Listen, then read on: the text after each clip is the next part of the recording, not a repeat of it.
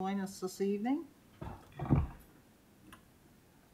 And I would uh, begin by uh, making our land acknowledgement. I'd like to begin by acknowledging that we are in Mi'kma'ki and the district of Sipekne'katik, the ancestral and unceded territory of the Mi'kmaq people.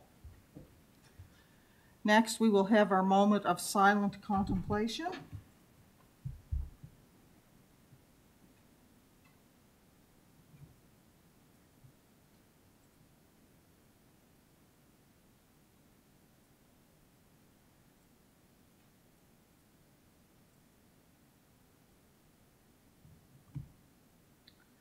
Next, I would be looking for the approval of or amendments to the agenda. Move- Moved by, I think it was Counselor Moussa, seconded by Counselor Perry. Is there any discussion? Question. Question's been called. All those in favor? Aye. Aye. Contrary? Motion is carried. Next is the approval of the minutes of the April nineteenth, two thousand and twenty-two council policy meeting and the April twenty-seventh, two thousand and twenty-two regular meeting of council. So moved. Moved by the deputy warden, seconded by Counselor Moussa. Is there any discussion? Question. Question's been called. All those in favor? Aye. Aye. Contrary? Motion has carried.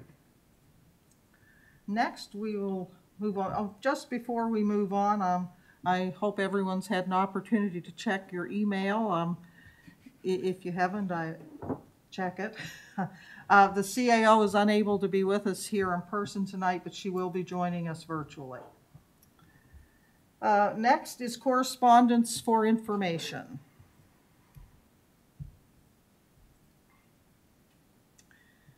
And you have that in front of you, counselors. Is there any item that any counselor wishes to bring forward out of correspondence for information?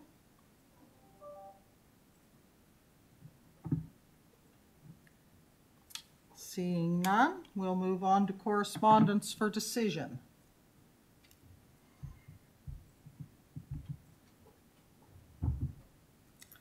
The first item is to try and select a new date for our training, which was canceled on the 19th. And the, the facilitator and the CAO are both available on the 9th or the 30th of June. So. Check my calendar.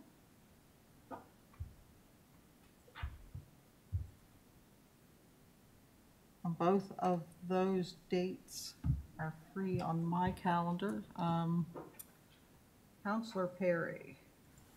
Thank you, Madam Warden. Uh, I would recommend the, uh, the ninth, just where the thirtieth is the day before the long weekend in case anybody had travel plans. I would say probably the, the ninth would be my, would be my preference. Okay, thank you. And I apologize, I went out of order, I missed seeing the list. Deputy Warden. Uh, Either night, uh, I'm available, but concurring with uh, Council Perry that June 9th probably is the better of the two.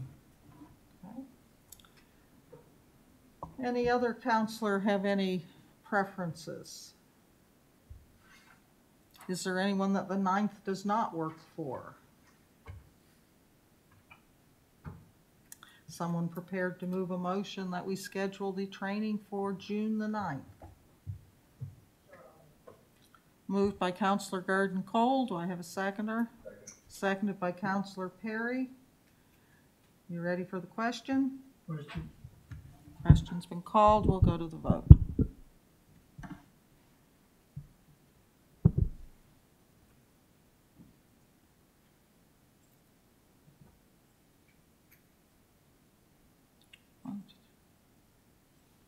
And the motion is passed unanimously.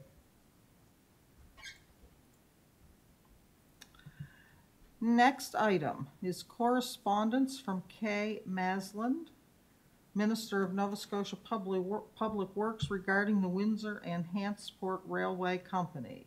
And this letter was dated in April, but was just received this week. So Shirley, are you, Adam's gonna do that one? Evening, Council. I'll just provide a, a quick summary that's led to this letter in front of Council today.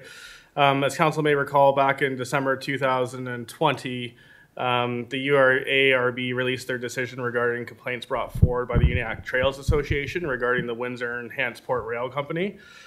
And the UARB at that time um, ruled that there, they had, the UTA had no um, standing to pursue a complaint against the company. Um, so from that, municipal council wrote the province in January of 2021 um, because it is uh, believed that it's in provincial jurisdiction to uh, act on some of those complaints and concerns. Um, it took a while for us to hear back, actually, back from the province. Actually, we um, met with the MLAs, council met with MLAs in this past fall, and our, our four, three MLAs from the area, from uh, our local area, plus the Sackville MLA, wrote the province, the minister, a letter uh, asking for an update on behalf of themselves and council. And we just recently received a letter in front of you tonight, um, which essentially is acknowledging uh, council's letters and the concerns and that they're looking at next uh, steps regarding the issue. It's not really clearly defined. So if this is still a priority for council, really there's a few things you could consider. Um, you could consider writing another letter just reaffirming council's uh, position and advocating for this to be an active transportation um, route.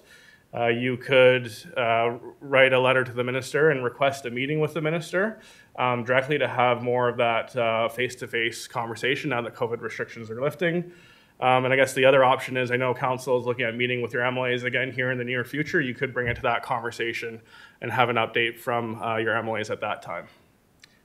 Thank you. Thank you, Adam. So folks, you've heard the options. Uh, Counselor Perry. Thank you, Madam Warden. I would move that we invite the minister uh, to have a meeting um, with our staff and, and with us on the, re- regarding this, this issue. I think that uh, it could be a good opportunity to address this issue if we had the ear of the minister, and maybe some other things in benefit of the municipality can happen at the same conversation if we have the audience with the minister. So I would, I would, sorry, I will move that we request a meeting with the Minister of Transportation. Do we have a seconder? Seconded by Counselor Moussa. Is there any discussion on the motion? Are you ready for the question? question? Question's been called, we'll go to the vote.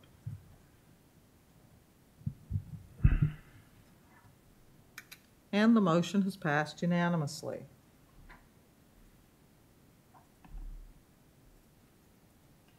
The next item is a temporary borrowing resolution on the mill and pave project for White Road. And that is Sue? Thank you, Warden. Uh, Council will recall that we had a project in the capital budget that was presented back in February for mill and pave for White Road. And the project is ready to go forward, and we're looking to have a temporary boring, boring resolution approved by council so that we can go forward to borrow for this project. Um, we need permission, uh, I need to send a report to the minister at um, Municipal Finance Corp and the municipality, or sorry, um, the province.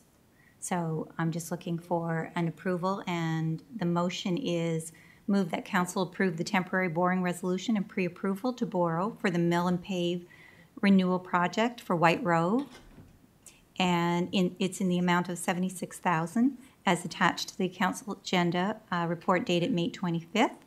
And that the average interest rate of the debenture not exceed the rate of six point five percent for a term not to exceed twenty-five years. Thank you. Is someone prepared to move the motion? Uh, Counselor Moussa. Thank you, Madam Warden. Uh, I- I'll move the recommended motion. Do we have a seconder? Counselor Tingley has seconded the motion. Any discussion on the motion?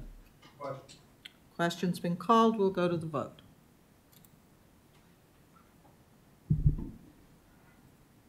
And the motion is passed unanimously. Next item is a letter from the Canadian Mental Health Association, the Colchester East Hants branch, re a presentation to council. And who's quarterbacking this one? Shirley? So council, uh, this letter was received from the um, Canadian Mental Health Association, the local branch. Um, Thought it might be an opportunity for them to come in and make a presentation to council about the services, um, the supports that they provide to the local community. So this letter's before you, and you can decide whether you would like to have a presentation from this organization or not. Okay, counselors, what is your wish?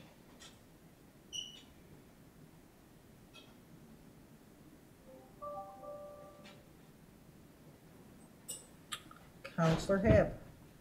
Thank you, Warden. I move that we schedule them to have an opportunity to make a presentation to council on an executive day at a future date. Seconded by Deputy Warden. Is there any discussion? Question's been called. We'll go to the vote.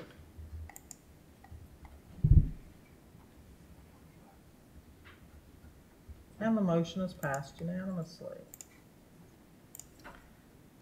And the final item under business correspondence for decision is a copy of the 12-month notice letter from the province to the NSFM regarding planned changes to legislation, regulation, or administrative actions that could have the effect of decreasing revenues or increasing the required expenditures of municipalities.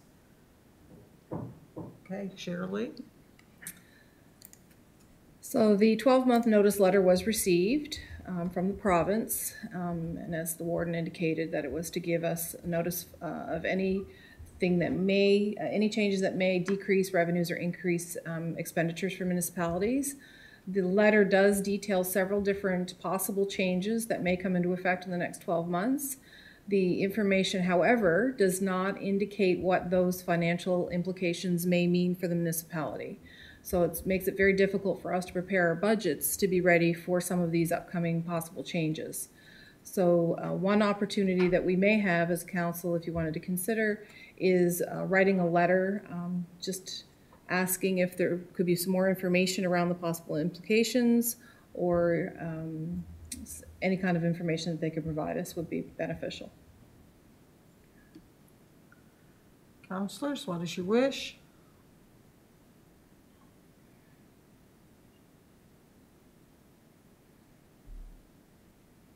Counselor Perry. I would move that we send a letter to the Municipal Affairs and Housing Office of the Minister requesting more clarification, which will allow the municipality to better plan for these future costs and budgeting in the future. Do we have a seconder? Seconded by Counselor Moussa. Any discussion? Question. Question's been called. We'll go to the vote.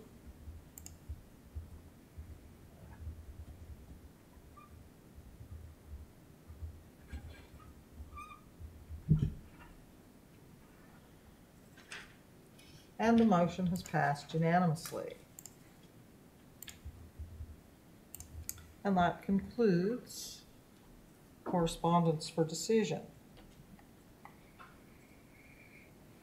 Well, returning to the agenda, our public hearing is not scheduled until seven thirty, so we will move into committee reports. Uh, First, Counselor Rhyno for Police Advisory.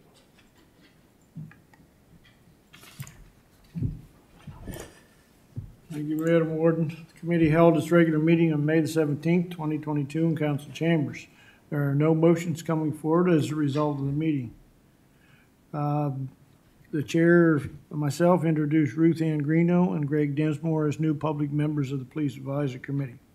The RCMP presented their quarterly report, including an HR report, operations update, calls for service, data, and update on the decisions of the Nova Scotia Chiefs of Police Association to re- redesignate the RCMP to associate status and the impacts of that decision.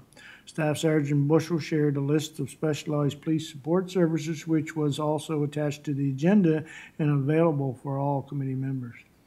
Madam Warden, that is the end of my report. As chair of the committee, I do so move. Seconded by Counselor Perry. Is there any discussion? Question's been called.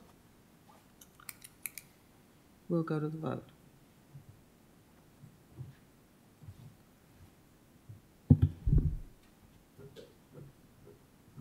And the motion is passed unanimously. And I apologize, report adoptions, I guess we usually do by eyes and hands, I think. Okay, next on our agenda would be the Corporate and Residential Services Committee report. Counselor Perry. Thank you, Madam Warden. The corporate, sorry, the committee held its regular meeting on May seventeenth, twenty twenty-two in council chambers. The following motion is coming forward as a result of the meeting. Former Elmsdale Lantz School Sites Request for Council Workshop. As discussed at the March, as discussed at the March twenty twenty-two regular meeting of council, task one of the market analysis and site development study is to include a workshop with council to discuss the potential highest and best uses for the subject properties based on the market analysis and feasibility before FBM. Turner Drake and Englobe finalized their Task One deliverables. The Corporate Residential Services Committee recommends to Council that a council workshop be held on June twenty-third, twenty twenty-two, to discuss potential high, highest and best uses for the former Elmsdale and Lantz school sites. As Chair of the committee, I so move. We have a seconder? Seconded by Counselor Moussa. Is there any discussion on the motion? Question's been called. We'll go to the vote.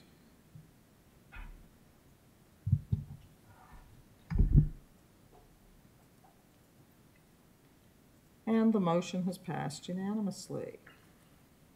Next item, special election for District Four. Due to the resignation of Councilor Ian Knockwood, there is a need to conduct a special election for District Four Shubenacadie in keeping with the Municipal Elections Act. The Corporate Residential Service Committee recommends to Council that Council appoint the Chief Administrative Officer as returning officer for the 2022 special election for District 4. Gives authority to the CAO to determine the tariff of fees and expenses for the special election. Gives authority to the CAO to appoint an assistant returning officer.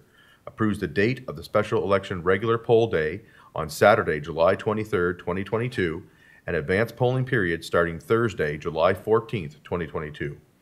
Authorize the expenditure of up to 15000 from the general tax rate 2021-2022 year-end surplus. Authorize the use of the Nova Scotia Permanent Registry of Voters provided by Elections Nova Scotia as the preliminary list of electors.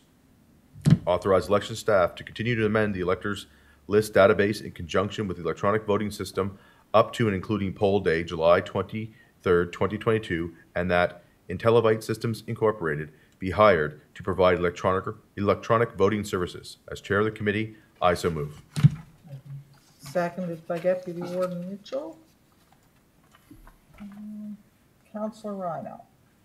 Um, Madam Warden, I, I do support the motion in, in, in part, but I do wish that, uh, we could have, uh, paper ballot. I think that's still important in this day and age, and there would be many people that would take part in that, so that's all I have to say right this now. Thank you, Counselor. Any other discussion on the motion? Are you ready for the question? Question's been called.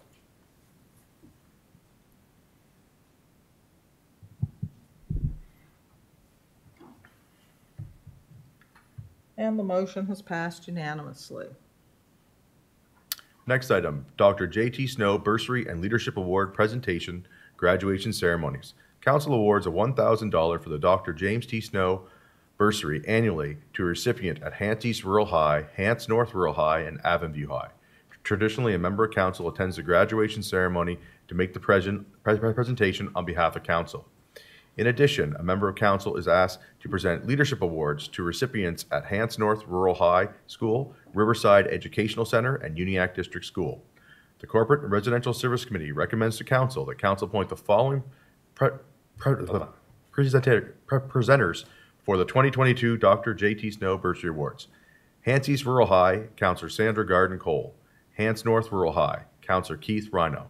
And that council appoints the following presenters for the 2022 Leadership Awards. Hants North Rural High, Warden Eleanor Roulston. Riverside Educational Center, Deputy Warden Norval Mitchell. Uniacke District School, Counselor Michael Perry. As Chair of the committee, I so move. We have a seconder, seconded by Deputy Warden Mitchell. Any discussion on the motion? Question. Question's been called, we'll go to the vote.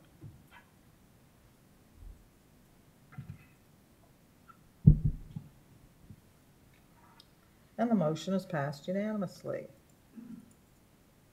Next item, Council Hospitality Policy. The Municipal Government Act requires that all municipalities to create a hospitality policy to determine hospitality expenses. Municipality of East Hants meets the hospitality requirements of the MGA through its operation, but does not yet satisfy the requirements to pass a ho- hospitality policy. The Corporate and Residential Services Committee recommends to council the council include alcohol as an eligible expense as outlined in the giving of gifts section to be included, but not the receiving of gifts in draft council hospitality policy. As chair of the committee, I so move.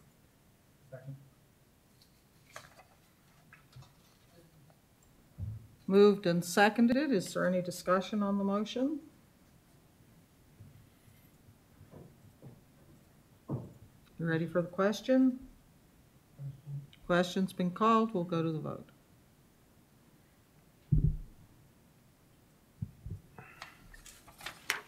And the motion has passed eight votes to one, with Councillor Rhyno voting nay.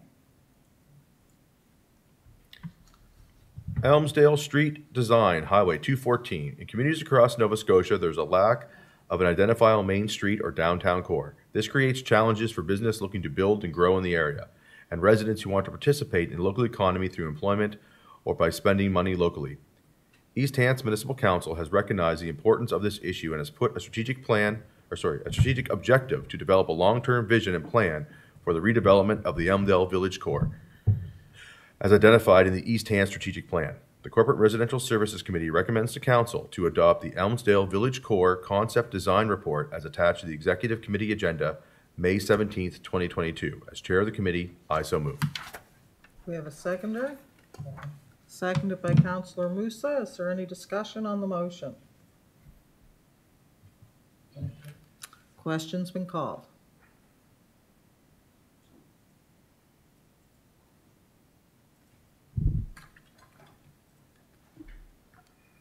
And the motion is passed unanimously. CCOA funding request. The Corridor Community Options for Adults presented to the Corporate and Residential Service Committee in April 2022.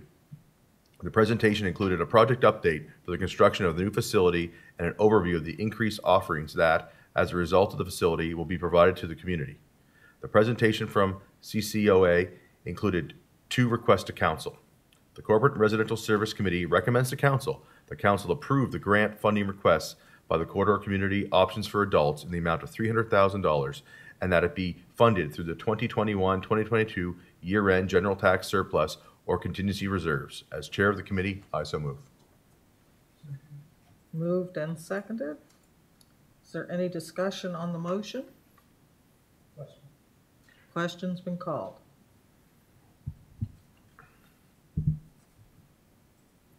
And the motion is passed unanimously.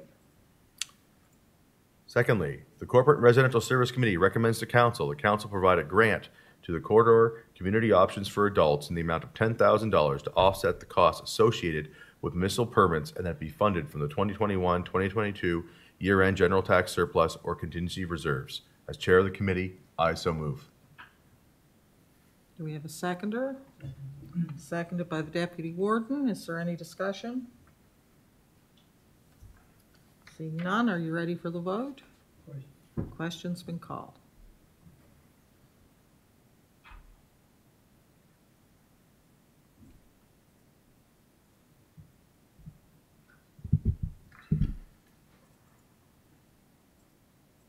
And the motion is passed unanimously. 619 Burncoat Road, Land Acquisition Ratification, HST. Staff received direction from council in January 2022 to acquire PID 45108339 on Burncoat Road. In March 2022, the sale was ratified by council at less than the asking price. The ratification motion in March did not identify HST. The Corporate Residential Services Committee recommends to council, the council ratify the expenditure of $11,315 to cover the HST portion of the $264,000 purchase price of the land, purchase of PID 45108339 Burncoat Road as previously approved by motion C22-113. As chair of the committee, I so move. Do we have a seconder? Seconded by Counselor Moussa. Is there any discussion? Question's been called.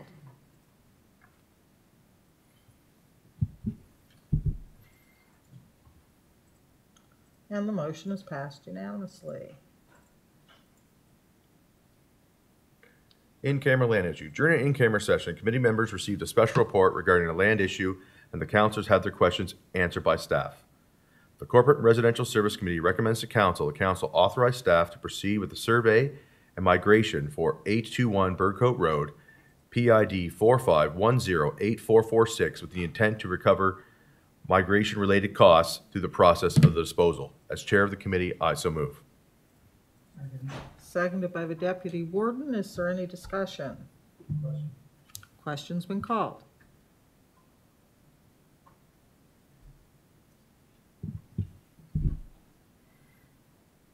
And the motion is passed unanimously. The Corporate Residential Services Committee also recommends to council, the council authorize staff to call for expressions of interest to purchase 821 Burncoat Road, PID 45108446, at a base bid equal to survey and migration costs as rounded, and authorize the CAO to enter an agreement of purchase and sale with the highest bidder. As chair of the committee, I so move. Do we have a seconder? Counsel, seconded by Councilor Garden Cole. Councilor Rhyno. Yeah, I'm, at this time, I'm not gonna support this motion here. I do believe that we should be trying to recoup the total costs that are associated with that land on the demolition of that, uh, the old property there that was there. Uh, I know it's only a small portion of land, but, uh, if you, in this day and age and, and uh, at this time with land going the way it is, I don't see any harm in putting a note there and trying to recoup the cost for the residents of the municipality. So if we're going this, down this route, I will not support this motion. Thank you. Thank you, Counselor. I would just note that this just sets the base or the opening bid. People would certainly be able to make higher bids. Any further discussion? Question's been called.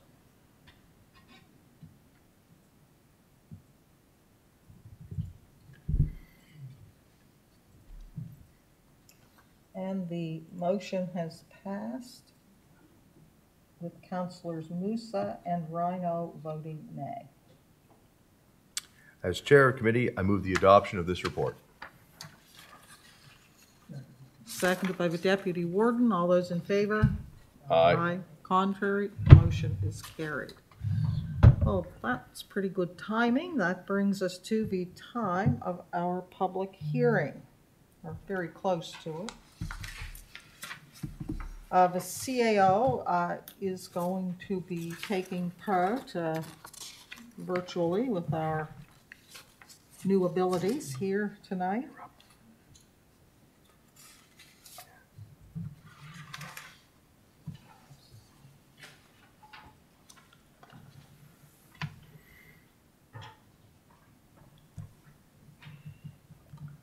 Waiting for the clock to flip over to the actual 7:30 time. Okay, counselors, this evening we have one item on the public hearing agenda. The purpose of this hearing is for council to hear input from the public prior to making a decision on the proposal. To the members of the public who have chosen to participate this evening, welcome. Please note that council's procedural policy requires that you not cheer, boo, clap, or otherwise disrupt this hearing. Anyone who wants to comment or ask questions will be provided an opportunity to do so.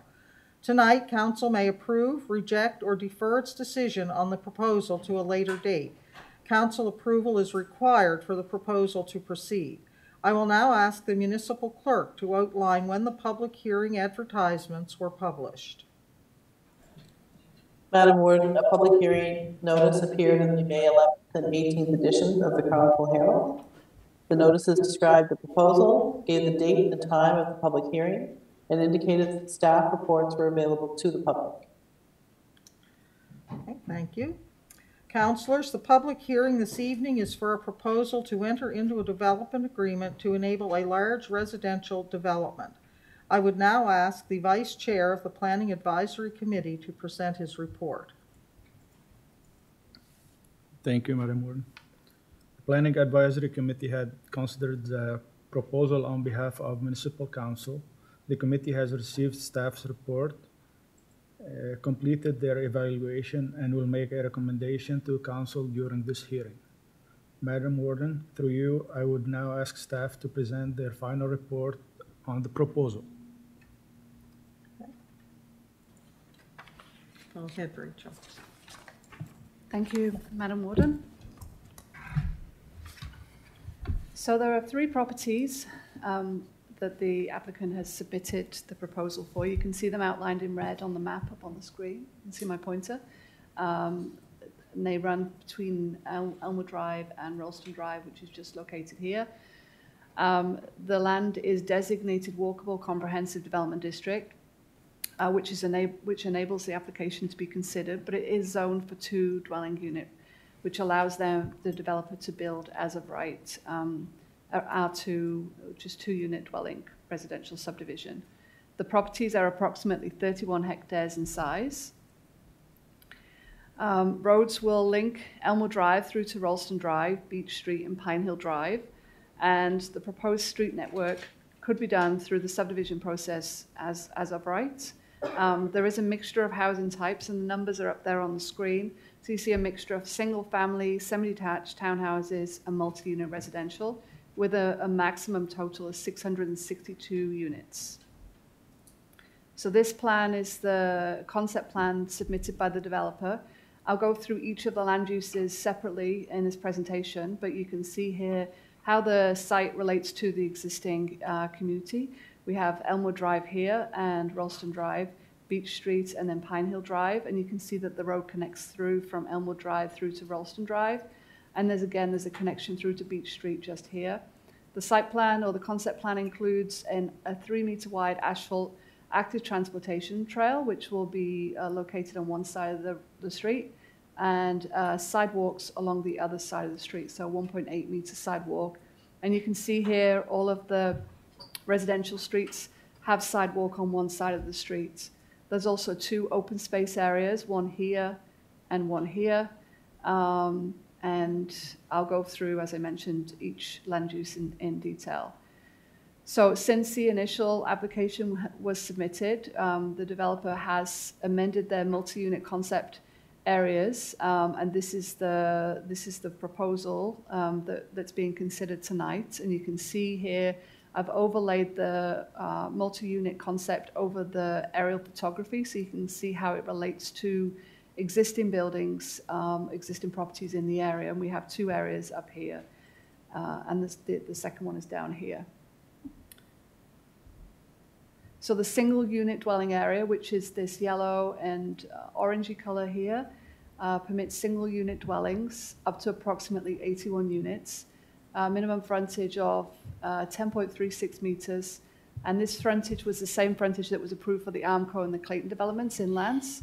Um, two parking uh, spaces on a driveway are required through the development agreement, um, but the land use bylaw only requires one. So that's that's over and above what the land use bylaw requires. And you can see here down in the bottom right, there's a photograph taken from Governor's Brook, and you can see the smaller uh, lot frontage here for a single unit.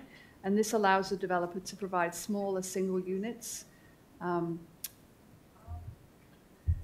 two unit dwelling area is this purple area here, um, and it permits two unit dwellings and single dwellings. So that would be semi detached. Um, it would be duplexes and also singles uh, with a potential of up to 190 units total. Uh, minimum frontage would be the same as the land use bylaw, which is 18 meter per lot. Uh, two driveway parking spaces are required, and again, the land use bylaw would only require one parking space for those types of dwelling units. Uh, townhouses is this blue area here. You can see with my pointer that's adjacent to Highway 102. Uh, that will permit uh, on-street townhouses and on-street stacked townhouses up to 48 units, and each unit will be required to have two parking stalls. So there's just an example here of a rendering from the Tyler Street Sam Crescent development that's currently under construction. Uh, the multi-unit area, there's two of those. This area up here and this area up here. This is Vernon Court and this is McKay's Lane. Uh, this permits multi-unit buildings and cluster townhouse units. The developer heard comments from Planning Advisory Committee uh, in February and amended their plans to address some of those concerns regarding the multi-units. Um, at that time, the developer was proposing buildings that would be six-story in height. They've reduced those buildings to four-story. Um, further adjustments were made to the multi-unit area to remove some cluster townhouse units which were proposed near, the McKay's Lane um, area of the development. And uh, approximately 343 units and parking will be required as per the land use bylaw regulations. So these here, these plans just show the comparing what was submitted initially. Uh, this is the, the land near McKay's Lane, and you can see here there was two apartment buildings, and the land up near Vernon Court, which as you can see my pointer just here, that's where Vernon Court is along this side. And these are the new plans that's been submitted. And these buildings, I'll just give you those measurements because it's not easy to see from the plan there, but uh, this building here is um, around 50 meters from the property boundary on this property here on Vernon Court, uh, sorry, McKay's Lane. And this building here, which is the nearest one, and this one here, which is nearest one to Vernon Court, um, over 45 meters for this one, and the same for this cluster townhouse building. The maximum height of the apartment buildings will be four stories, and the maximum height of the cluster townhouse units will be 11 meters which is the same as uh, the maximum height for um, an R2 development. These examples here just show you uh, some examples of um, FH Development Group multi-unit buildings, so you can see the kind of style that they've, they've developed in the past. And I've just, again, overlaid the photography against the Vernon Court area, um, aerial photography for that area, and you can see the relationship of those buildings there. Uh, what this plan doesn't show is that there is a 10 meter wide non-disturbance area alongside this property boundary. So there'll be 10 meters where the developer won't be able to go in and remove any of the vegetation. So that will provide a screening there. And there'll also be a 10 meter um, non-disturbance area to the rear. And again, I'll just go back to the Vernon, uh, to the McKay's Lane one. There'll be a 10 meter non-disturbance area here along the back of these properties and then again along this property boundary. So that will provide some screening for the um, multi-unit buildings there. So we, we looked at how the development would be uh, would impact the surrounding area due to shadows, and we looked at two dates where the shadows um, are kind of are at their most extreme. Um, December the 21st uh, at 9 a.m. and 4 p.m. and you can see here how those shadows of those buildings will um, play out on the existing area. What this doesn't take account of is that there are existing trees and vegetation and the shadows created by them. That's not been included in this, um, this information. And again, we did the same for the smaller multi-unit site, and you can see the shadows there um, in the winter and then in the, in the summer and how that would impact the surrounding area. So there are two parks that are proposed. There's one just in this area here, and then one just down here. Park one is approximately 470 meter, 400, 4,790 meters squared. Sorry, that's 1.18 acres. And then this park here is 8,636 meters squared, which is 2.13 acres. Um, there is also two walkways proposed and one of the walkways is here that will link this section of road through to the old Elm, Elmsdale School property. And also there's going to be an, a trail coming down through the multi-unit area that will um, cross over um, and eventually end down at um, highway number two. So provide pedestrian access for residents in this area to access Highway 2.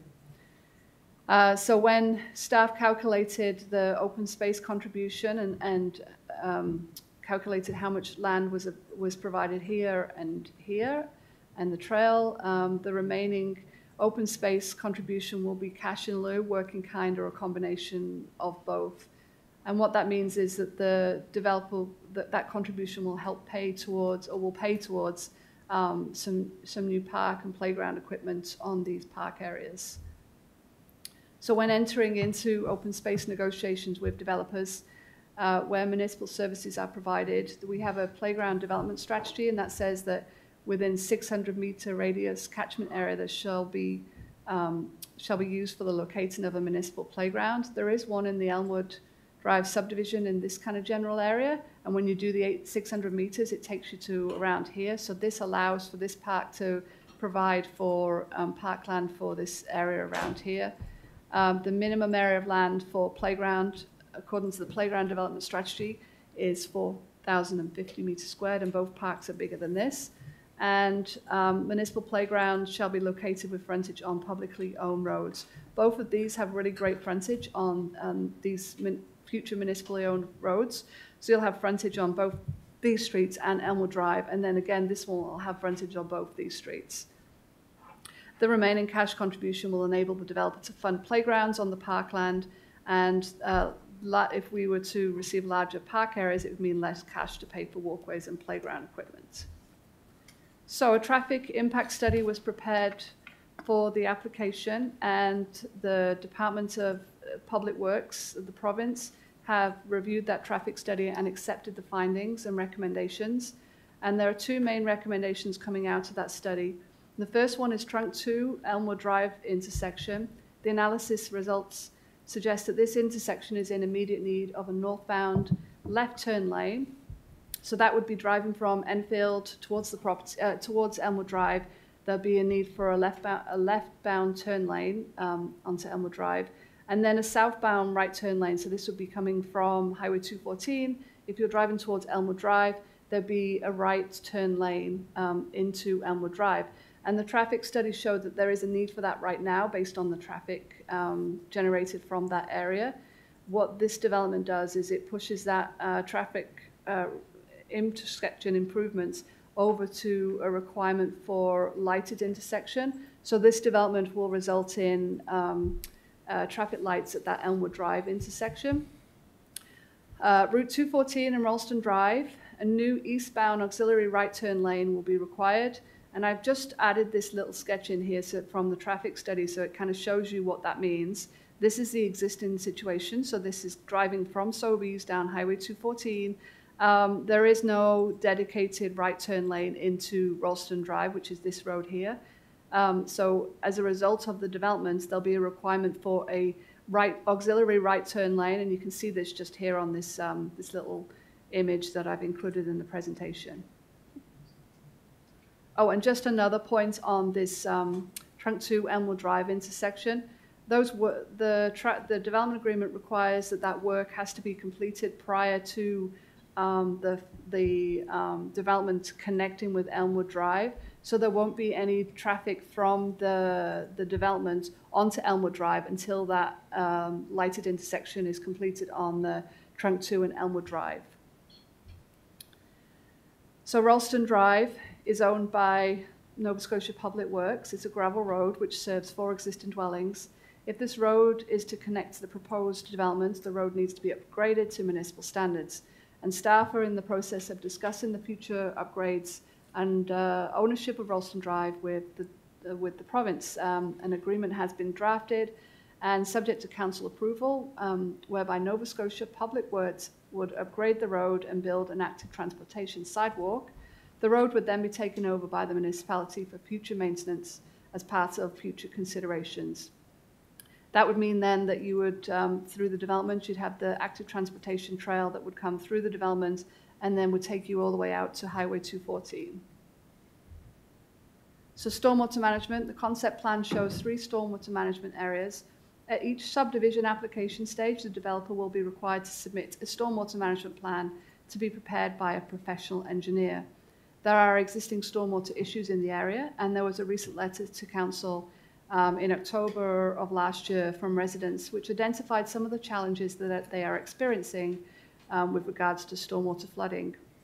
The municipal standards for stormwater management requires that pre and post-development stormwater flows must be balanced through the use of stormwater management ponds, oversized pipes, flow control structures. Um, so what that means is the stormwater that currently is generated from the property, the developments cannot increase that stormwater. They have to balance those stormwater flows. The municipality does not have a, a mandate to act to address the existing issues um, as per the storm drainage policy. However, some additional stormwater management improvements could be explored through the storm drainage policy, section six. And what that section says is that the municipality may consider issuing a credit on wastewater infrastructure charges if stormwater management enhancements for new development proposals can quantify a benefit in reducing inflow and infiltration issues for the wastewater system in neighbouring developments, resulting in a net benefit to municipal wastewater systems as a whole. This would be a request made by the municipality to a developer during the development application process. And what that means is that the developer will be required to pay um, infrastructure charges uh, when they develop out the site. And um, if those improvements can be built into the, to provide improvements for the existing, uh, existing area, there'll be a credit, there could be a credit issued on the wastewater infrastructure charges. Uh, so stormwater management, at the April 2022 meeting of Planning Advisory Committee, there was discussion on where the liability falls if the stormwater management on site does not effectively manage the stormwater. And the municipal solicitor provided um, an opinion in 2019, and that was been provided for council for information. And it provides a response on the recourse for the municipality around the issue of stormwater management and who is liable in such cases that the stormwater management plan is negligently prepared or the developer does not follow the stormwater management plan. So the Municipal Government Act sets out that if an engineer, architect, surveyor, or other person with expertise certifies or represents the municipality, the municipality is not liable for any loss or damage caused by the negligence of the person so certifying or representing.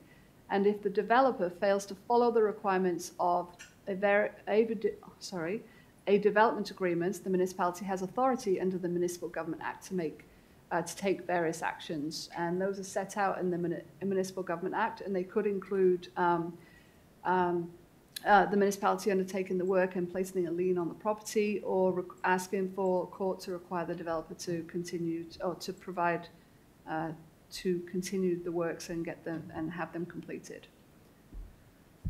Uh, so fiscal impact analysis when we, when staff look at planning applications, we undertake a fiscal impact analysis, and um, the analysis shows that based on the developments proposed, a total annual tax revenue from the developments will be 1,365,000.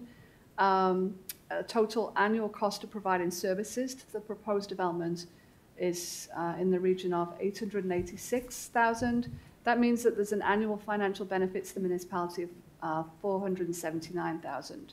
The Elmsdale Fire Department, and that's a per, uh, that's a per year um, financial benefit. The Elmsdale Fire Department will receive an estimated 156,000 per year from this development. And then again, infrastructure charges, as I uh, just mentioned on the last slide, generated by this development, and that would be estimated at almost 3 million.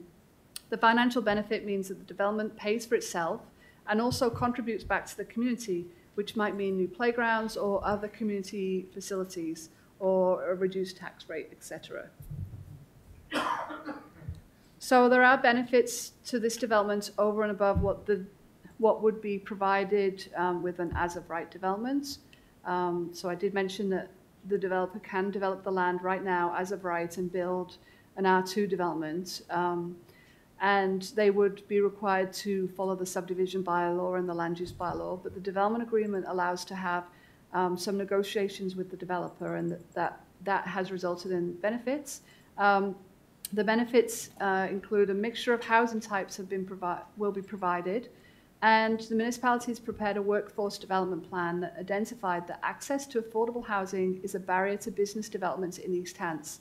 The mixture of housing includes smaller units, which provides some for some price points which are more affordable than larger, single, or even semi-detached housing. Uh, so, and also, not everyone is able to purchase a home or is even interested in owning a home. So this development provides an option for rental units, and then again, it provides an option for different um, sizes of um, housing units. Two driveway parking spaces per single unit and two units are required, and only one is required as of right. Um, so that means potentially less cars on the road. Uh, three meter wide active transportation trail is provided. So this is in addition to a sidewalk, which is not required through as of right.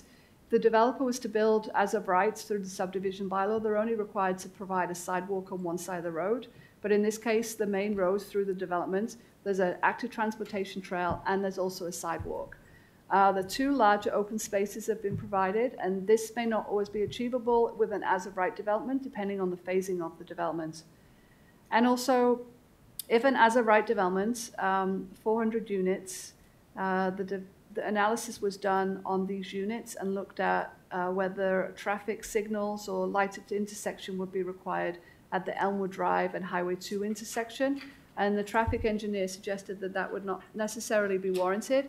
So this development does push that over to the point where that lighted intersection is required, and that may not be the case with an as of right um, R2 development. So in terms of citizen engagement, a letter and questionnaire was mailed to all properties within 300 metres of the subject property, asking for comments on the proposed development. It was mailed to 335 properties. We sent out two questionnaires. The first one was um, we received 42 questionnaires returned. And the second one that was sent out uh, more recently, we received 31 uh, questionnaires. Although not required by the municipal planning strategy, a public information meeting was held regarding this application earlier in the process. And all of those questionnaires have been scanned for council to review. Um, when, with the first questionnaire, the majority of the comments were ra raising objections or concerns, but there were a small number of responses that were offered support, and there were some that were asking questions but did not suggest they were in support. A summary of the comments received um, have been, has been provided in the staff report. Some of the concerns included uh, concern with increase in traffic, concern with the impact on existing infrastructure, concern with pedestrian safety and the increase in traffic, concern with impact on schools, and concern with increasing stormwater flooding and its impact on areas already struggling with this issue. Uh, there were other ish- there were other concerns um, listed, but these are just some of the ones that had the majority, the most comments on. Second questionnaire was also mailed out, and the comments again have been included um, in the staff report. And they were they were very similar comments to the first questionnaire. So concern with increasing traffic, concern with increased stormwater flooding and its impact on areas already struggling with this issue, concern with poor conditions of existing roads, um, and also lots of children in the area and the impact of the safety of, the, of those children. Following Planning Advisory Committee last week, an additional questionnaire response has been received, and that's been provided to, to Council for them to review. So they have all of the questionnaires that have been returned um, from residents in the area. To, to, to conclude, FH Developments Limited has demonstrated a commitment to the WCDD goal by submitting a proposal that encourages walkability and active transportation residential developments is proposed to be comprised of varying densities and housing types. Parkland trails and active transportation routes will not only benefit the residents of the development, but will benefit the wider community. The developer has listened to the concerns raised by PAC at their meeting in February and also concerns raised by residents and have amended their concept plans um, to try and address those concerns. The land is zoned two dwelling unit residential, which means the developer can build an R2 development as of as of right, right now, um, with the same road connections and layouts as proposed. Planning staff believe that this is a good development that will become a very desirable place to live. The development also offers elements which would benefit the wider community that would not be required with an as-of-right development. So staff have completed the evaluation and are recommending approval. the final draft of the development agreement has been provided to council for their review. And this just shows the, the, like a flow chart to show where we've been through the process.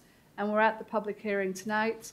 Council can approve or refuse the application. And the developer does have a right of appeal um, to the Nova Scotia Utility and Review Board. And also, actually, that right of appeal is for anyone. So if anyone decides that they want to appeal the decision of council, they have the right to do that. Um, and uh, thank you, Madam Warden. That's my presentation. Thank you, Rachel. Does any member of council have questions for staff at this time? Counselor Moussa. Uh, Thank you, Madam Warden. Uh, Rachel, you said uh, with, as of right, we wouldn't have uh, the larger open space area that we got. I, I don't agree with that uh, unless you prove me wrong. Um, through, through you, Madam Warden, what, what, what I meant in that, um, that statement was, it, when it comes to a subdivision application, we, we require a certain percentage of the land to be provided as open space.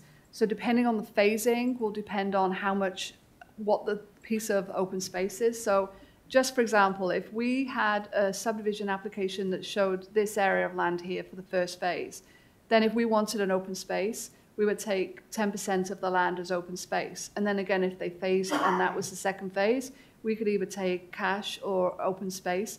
So in some cases, you might end up with lots of little parks rather than two big parks. So it very much depends on the phasing. We couldn't guarantee that if the developer came in with um, with lots of phases that we would necessarily have this open space as we see it right now. But it would still be 10%, which is what we have um, negotiated with the developer. Um, so the actual amount of open space is the same as what we would get through as of right, but it might be a bit more piecemeal um, if it went through an as of right development. Thank you, Rachel. Okay. I, I thought you meant we got more than we should, so, but we could have got smaller pieces. Okay, thank you.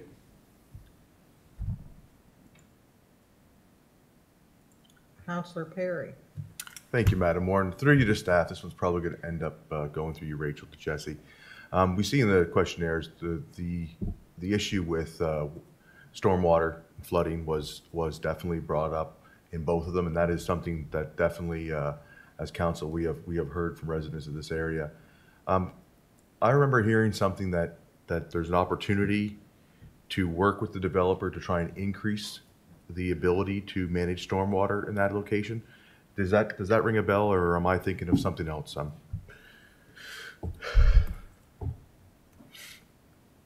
Jesse? Perfect. Uh, through you, Madam Warden.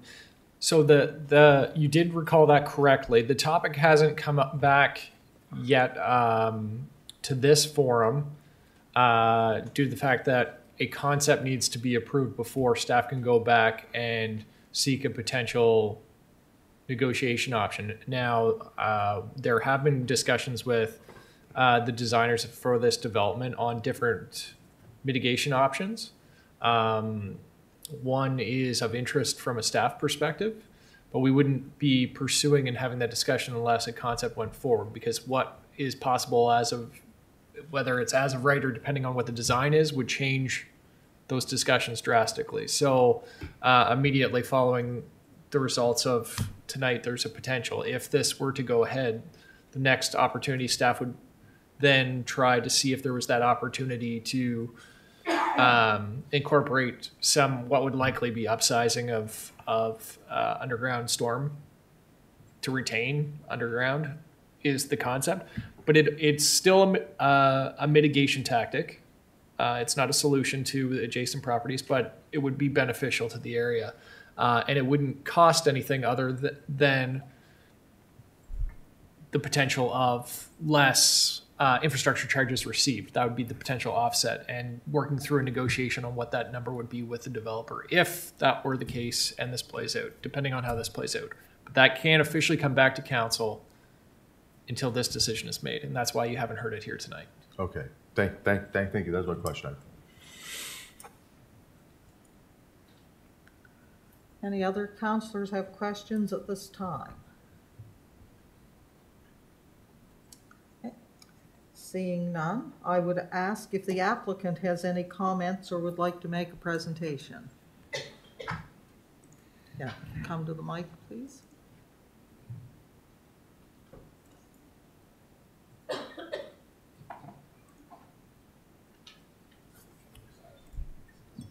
Okay. It's a problem with being tall. Uh, Good evening, uh, Warden and Council. My name is Crystal Fuller. I'm with a company called Brighter Community Planning, and we do, uh, we do planning work. And I'm here tonight with uh, Glenn Woodford, um, almost said John, uh, Glenn Woodford and uh, Logan King from Design Point, who during this presentation will also speak to the stormwater issues. So I'm going to give you a brief presentation, most of which has been um, ably covered by Rachel, but I just would like to sort of point out a few things. So you know the site context, and one of the reasons that the developer is so interested in this is because it is a walkable community. It creates that walkability. The policies of your plan are very forward-thinking um, and really talk about how to make this a walkable community. So when we looked at this, we looked in, and to see if that was actually the case. And if you go to the next slide, you'll see that the walkability of this area is pretty significant. It's, it, it makes a great spot for people to be able to walk and bike and to gain access to all the amenities and services around the area. Next slide, please. So uh, Rachel covered the current zoning. There's, this this uh, site is going to be developed one way or the other, either through the existing zoning or through the development agreement. The development agreement does give a variety of housing choices, um, but if it did go as of right, as Rachel mentioned, it would be a little less than 400 um, units that would go in this area. Um, and there's a variety of conditional uses that also can go in the, in the R2 zone, including fourplexes, a convenience store, and live-work situations. Next slide, please. So, and you can hit the go ahead button again. I like to have some animation. Um, so this notion of a walkable comprehensive development district that you have in your municipal planning strategy really is focused on creating a variety of land uses, including a variety of residential land uses. We know in this market right now, we know in this province that people are struggling to find housing and to find it in a way that they can pay for it. So these, these, uh, this development proposes to have a variety of housing forms from rental in apartments to rental townhouses, excuse me, uh, to small lot singles.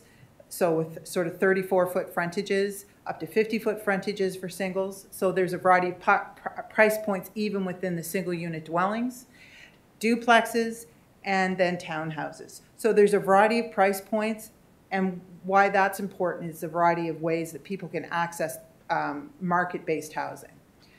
So the proposed uh, roads link with streets of the adjacent developments. So it's about connecting things that make sense to be connected. And you can see on the maps when we get to them that, that there's streets that are pointing to each other, which looks like they should be connected. So if you had to go from the end of El Elmwood over to visit your friend at Ralston, uh, that's a probably 10 minute drive if you wait for traffic to turn the other way. So it, it creates connections. It also creates pedestrian connections and active transportation routes and walking trails, which is compliant with a lot of your uh, language you have for your active transportation and open space plans. It's about creating a comfortable place to walk and be, so a good streetscape. So as mentioned, the streets are going to have sidewalks on either side on the on main part of Elmwood and have places for cycling. It's about using your municipal infrastructure. So you have service capacity there, you have already a service development, it's connecting those, and it's linking residential with commercial areas. Next slide, please. So that's, um, that's the connected street layout that we were talking about. And so you can just sort of see that it makes sense. Um, Ralston to Elmwood. Uh, next slide, please. And this is for the engineers in the room. These are the, the um, uh, road standards, and you can get a sense of what that would look like and feel like if you were walking along it, to have sidewalks on both sides, uh, and to have street trees, room for street trees, and, and ways to move around in a non-vehicular way. And the next one, please.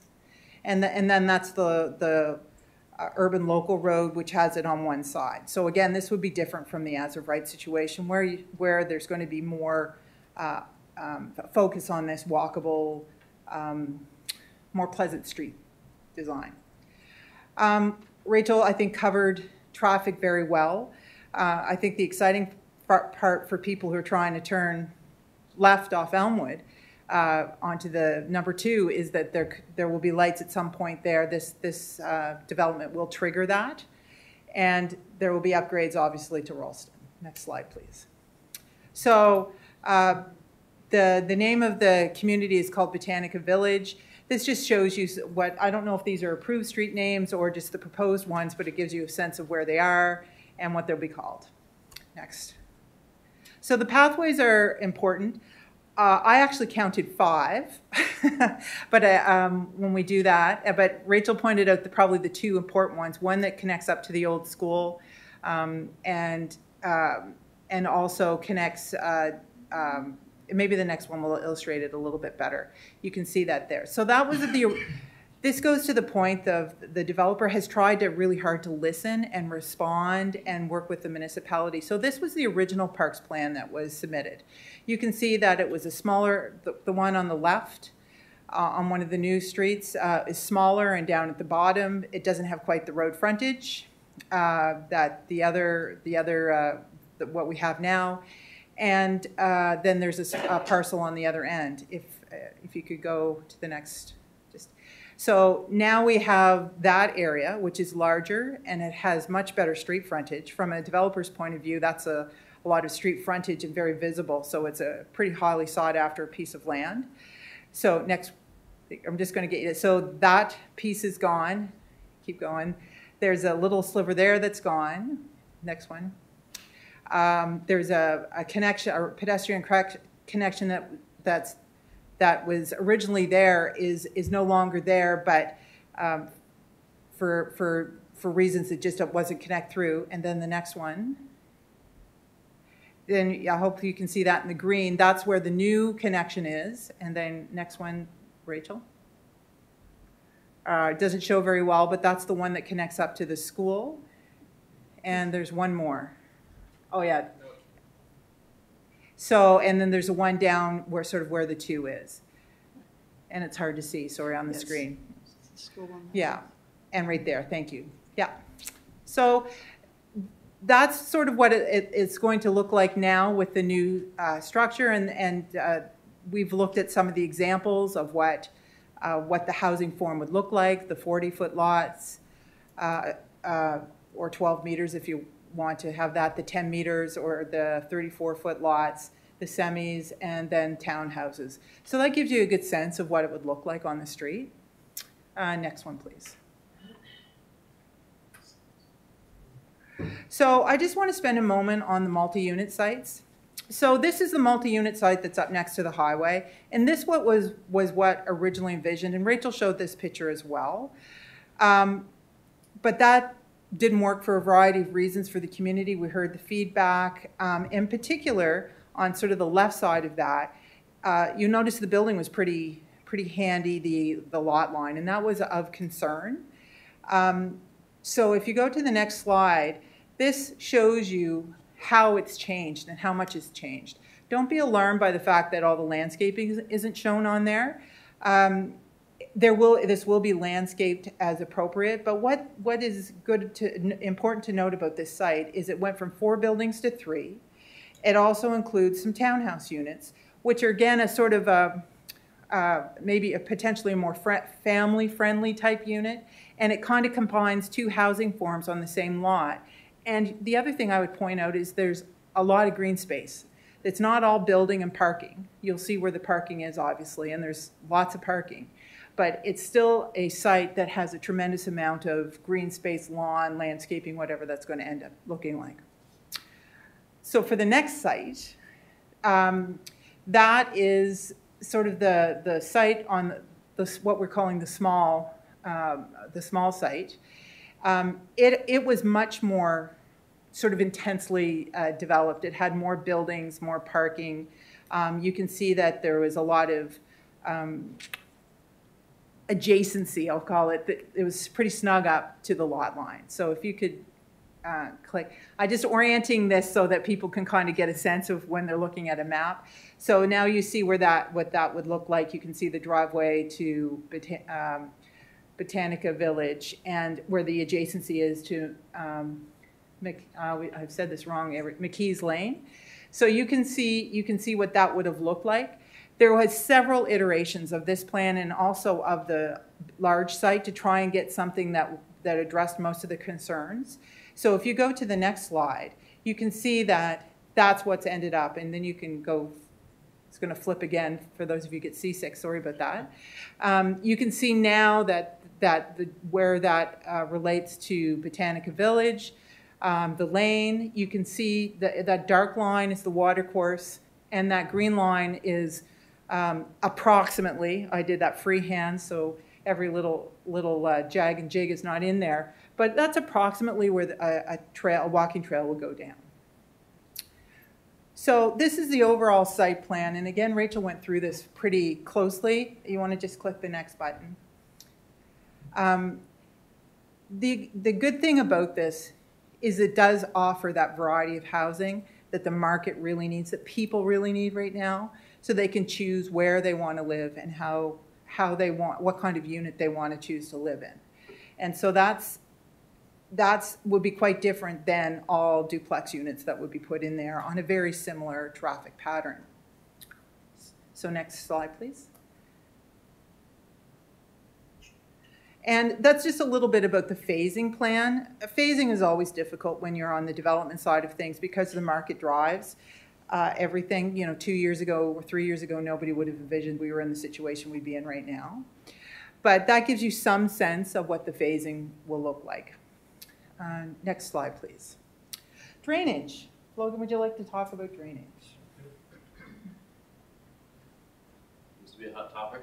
Uh, Thanks, Crystal, and uh, Madam Warden, and and, uh, members of the public for coming out tonight.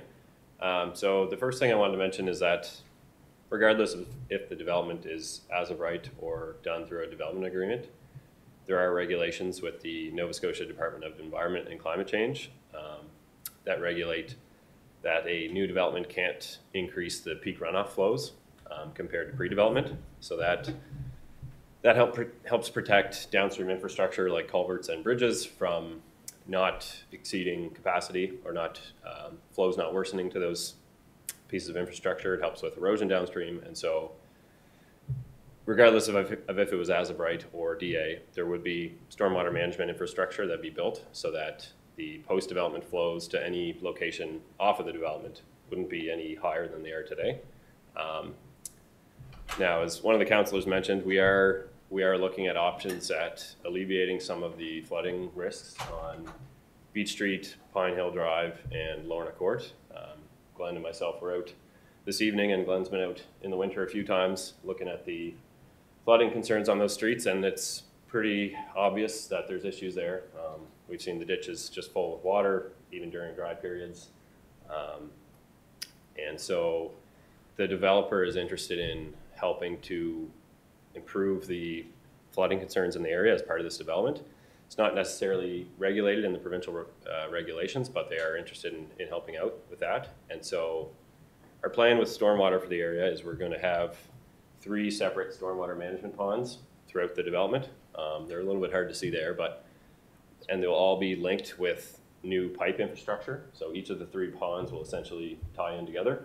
Um, and so what that's going to do is going to, it's going to take a lot of drainage area that's currently getting to Beach Street and uh, Pine Hill Drive, and it's going to route it to be downstream of those streets. So a lot of the runoff from that upper area that actually crosses the highway is going to go into those ponds. It's going to go into the new streets.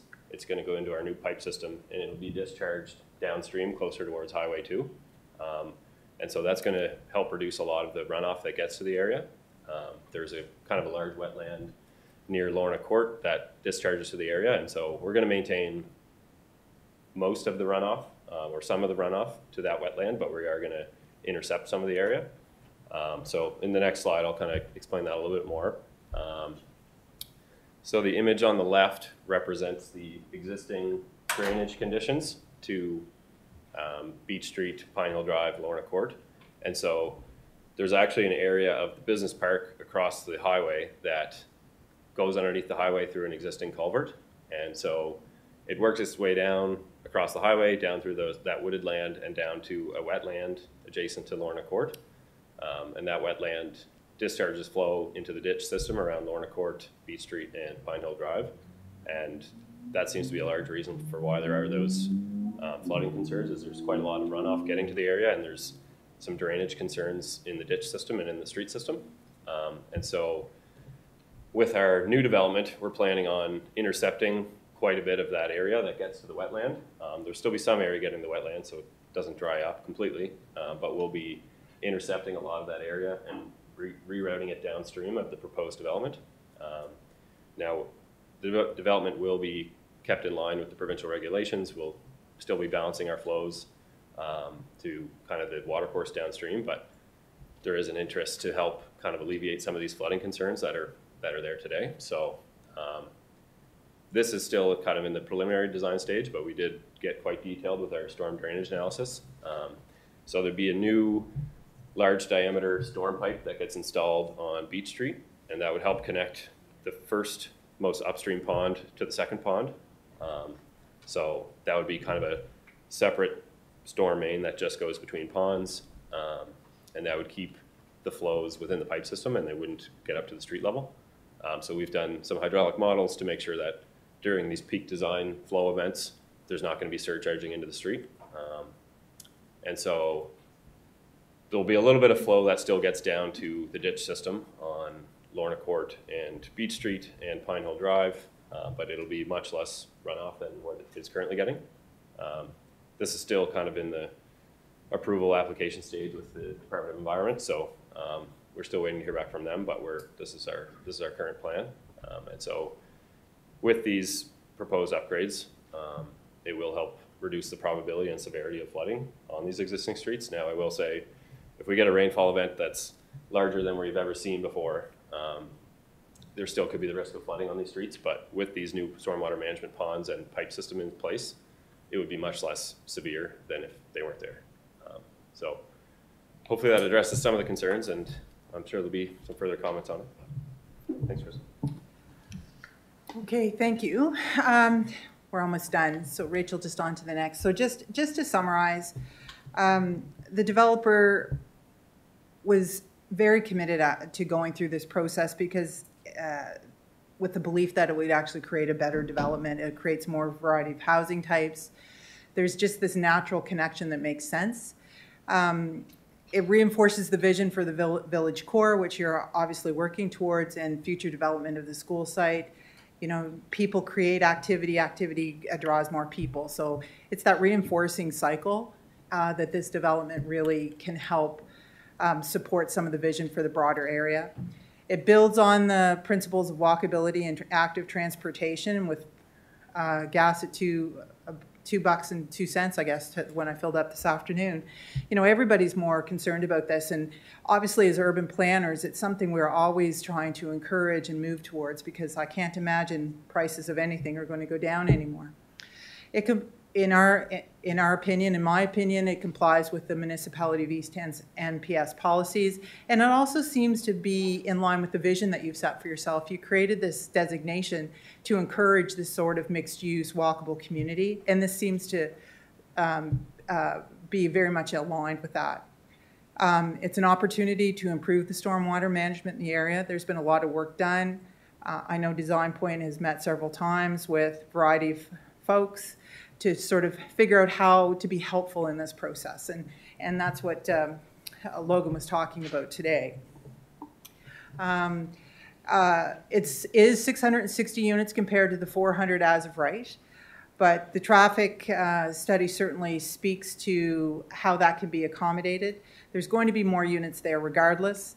Um, And it would trigger the lights at Elmwood and Highway 2 uh, if, if the development was approved.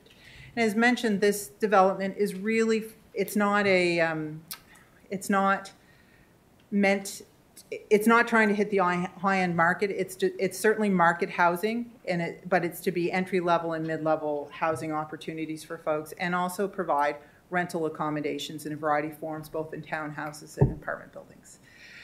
So um, with that, I'll end my presentation. Thank you very much. I will now open the floor for comments and questions. If you are viewing the YouTube live stream, you may use the YouTube chat feature, which is being monitored. But first, does anyone attending in person tonight have any questions or comments? Okay. I just had a question regarding the. Uh, I uh, would ask that you state your name and address for the record before Okay. you speak, My name is uh, Robert Rob Rose. I reside at 682 Highway Number 2, Elmsdale. And uh, so my, in regards to uh, stormwater management, uh, notice you, you focus a lot on the opposite side, but that elevation in the center between like Street B and C, that's a higher elevation and water will run off both sides of that, that elevation. Um, Now, when I look at the property, uh, Street D, just to the left, just south of Street D, there's a water course there, called Black Brook. Now, it shows that, shows that water course, but it doesn't show a beginning or an end to it. It seems to drop right off. Uh, how extensive was the research on the existing stormwater, uh, issue management on that side of the elevation? Be- Uh, because there is, it is, there is a floodplain. It, uh, a lot of water gathers, gathers up, uh, near McPhee's Terrace. So we're- that brook, like, the water is gonna just get displaced from all those properties on the side. And it's just a concern for me for flooding that, I come flooding that property, and I make use of that property, and I just wanna make sure it doesn't flood, so I don't have use of that property. Sure, yeah, so in terms of the extents of the water course, it was, there was a field delineation completed by. Could you come environmental- forward to the mic again, Oh, sorry. please? Um, so in terms of the extent of the water course delineation, so we, we had an environmental subconsultant do a field delineation just on the property. Um, so they would have, they walked out and, and marked out where they determined a water course to be. Now, again, that was, that was only within the property extents. Um, they're not, they're not able to enter onto the adjacent properties, but we have shown that water course um, routing around our lowermost stormwater management pond. So that water course will continue to drain down towards the overall water course that works down towards Highway two. Um, and those ponds will, will take runoff from the proposed development, but it'll still allow um, that water course to drain around it. Uh, well, it looks like the water could be displaced by the properties on the south side of Street D. There's, there is a, there's like a a up there, so if you go across Elmwood Drive on, on the, uh, just uh, right in front of Court, uh, there is a water course that streams right through there. There's a, there's a ditch dug right now. Where, where Elmwood, Elmwood starts to extend, Mhm. there's a ditch existing right now. Now, that ditch, uh, so if you see the last lot on Elmwood Drive from, uh, the previous development, Mhm. that lot there, the water comes right into that property. Then it sort of displaces and go, and sort of spreads out over the property and then meets back up with Black, Black right here. Right. I walk the property regularly, I know exactly what's going on. Mhm. Uh, so if all those, if all those foundations are put in right there, that water's gonna be displaced. It's gonna be displaced over our property, because we're at lower, at lower elevation. Right. than that. So what's your, what's your, uh, solution for if there's future issues?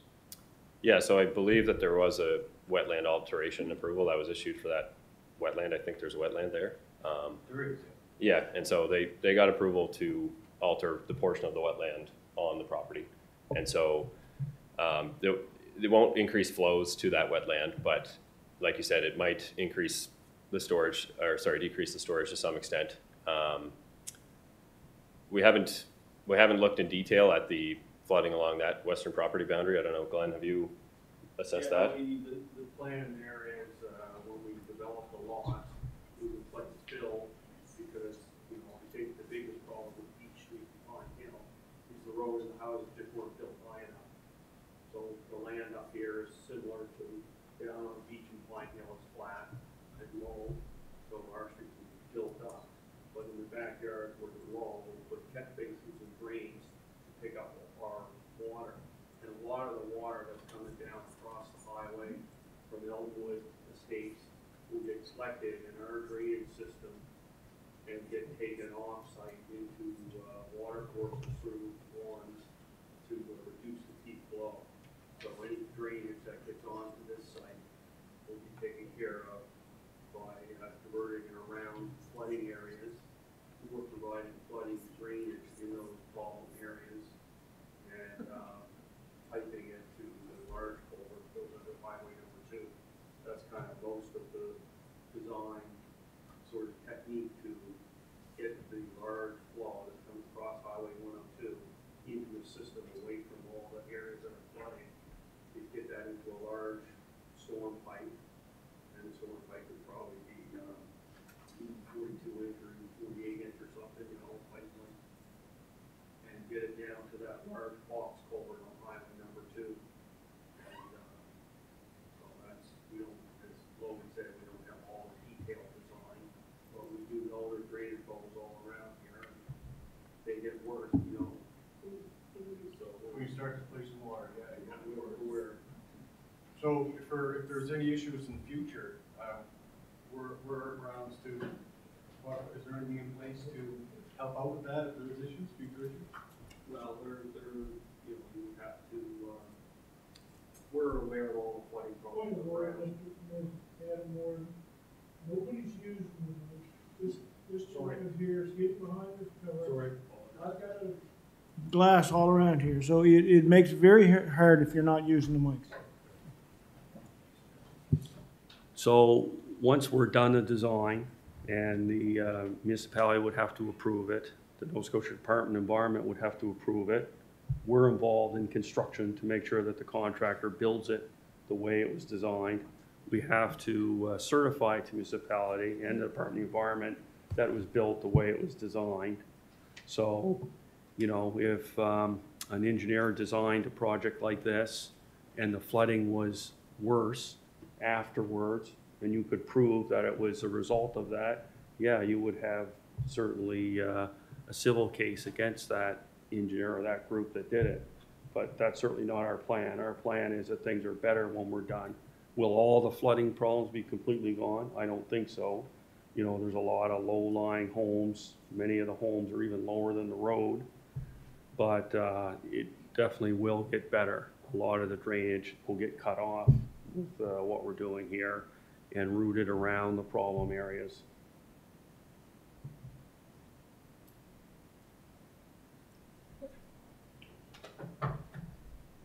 Next.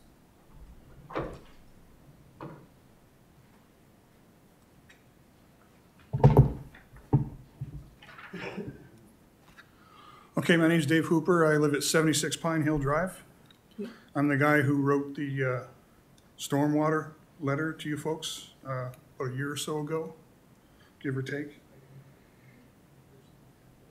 Um, So to start off with, you know, I, I, I filled out the first uh, questionnaire. I didn't fill out the second questionnaire because everything I had to say was in the first.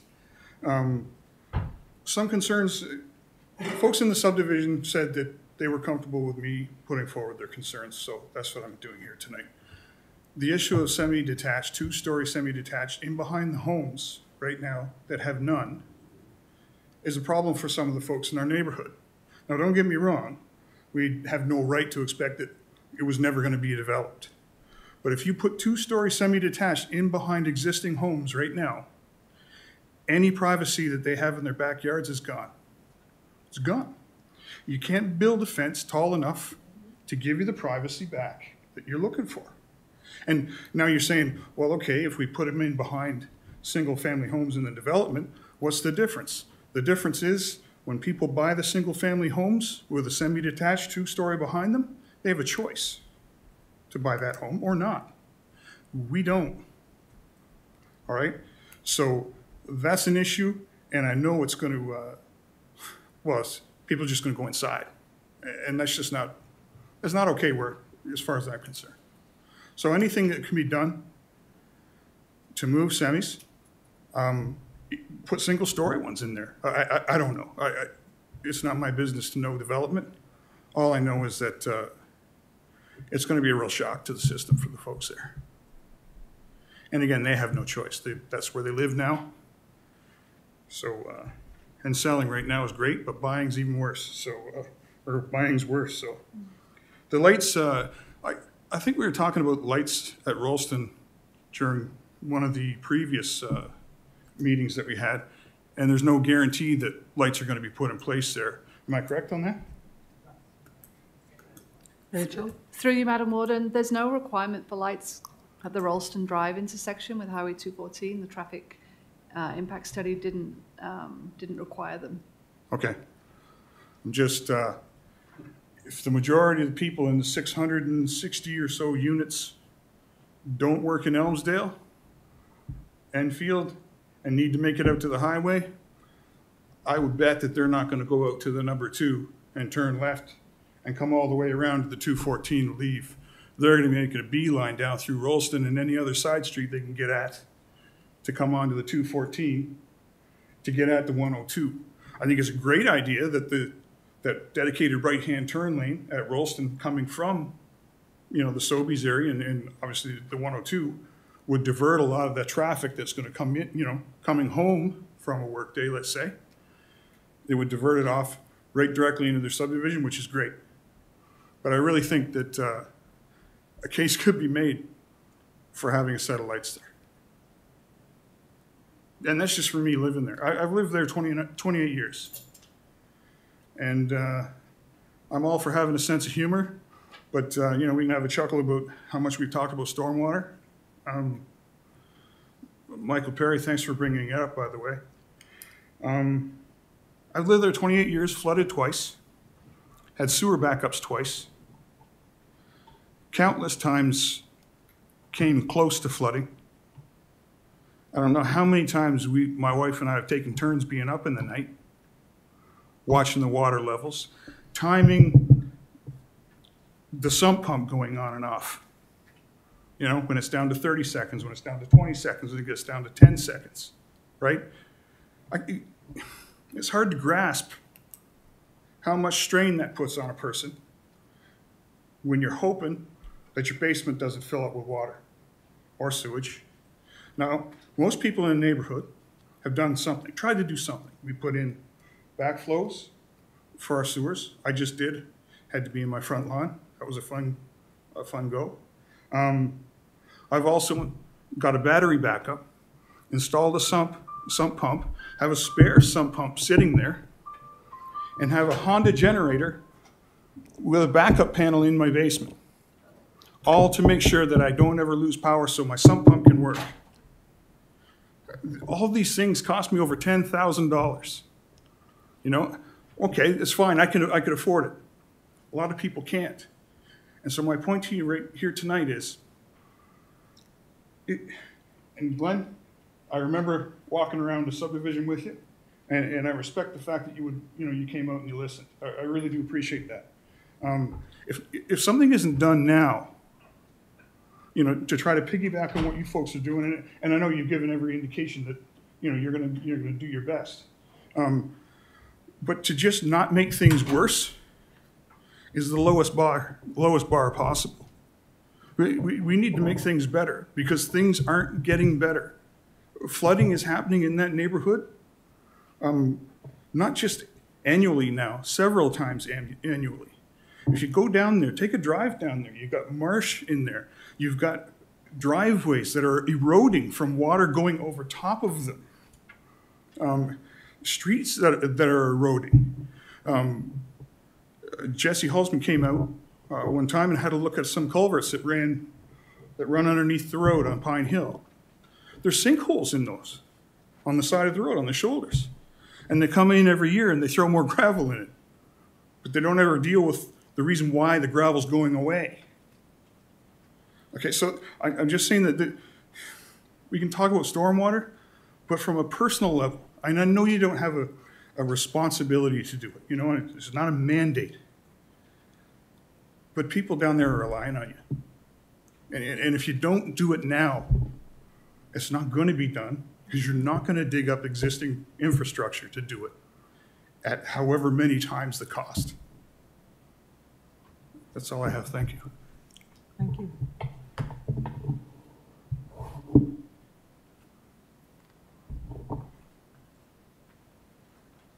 Go ahead.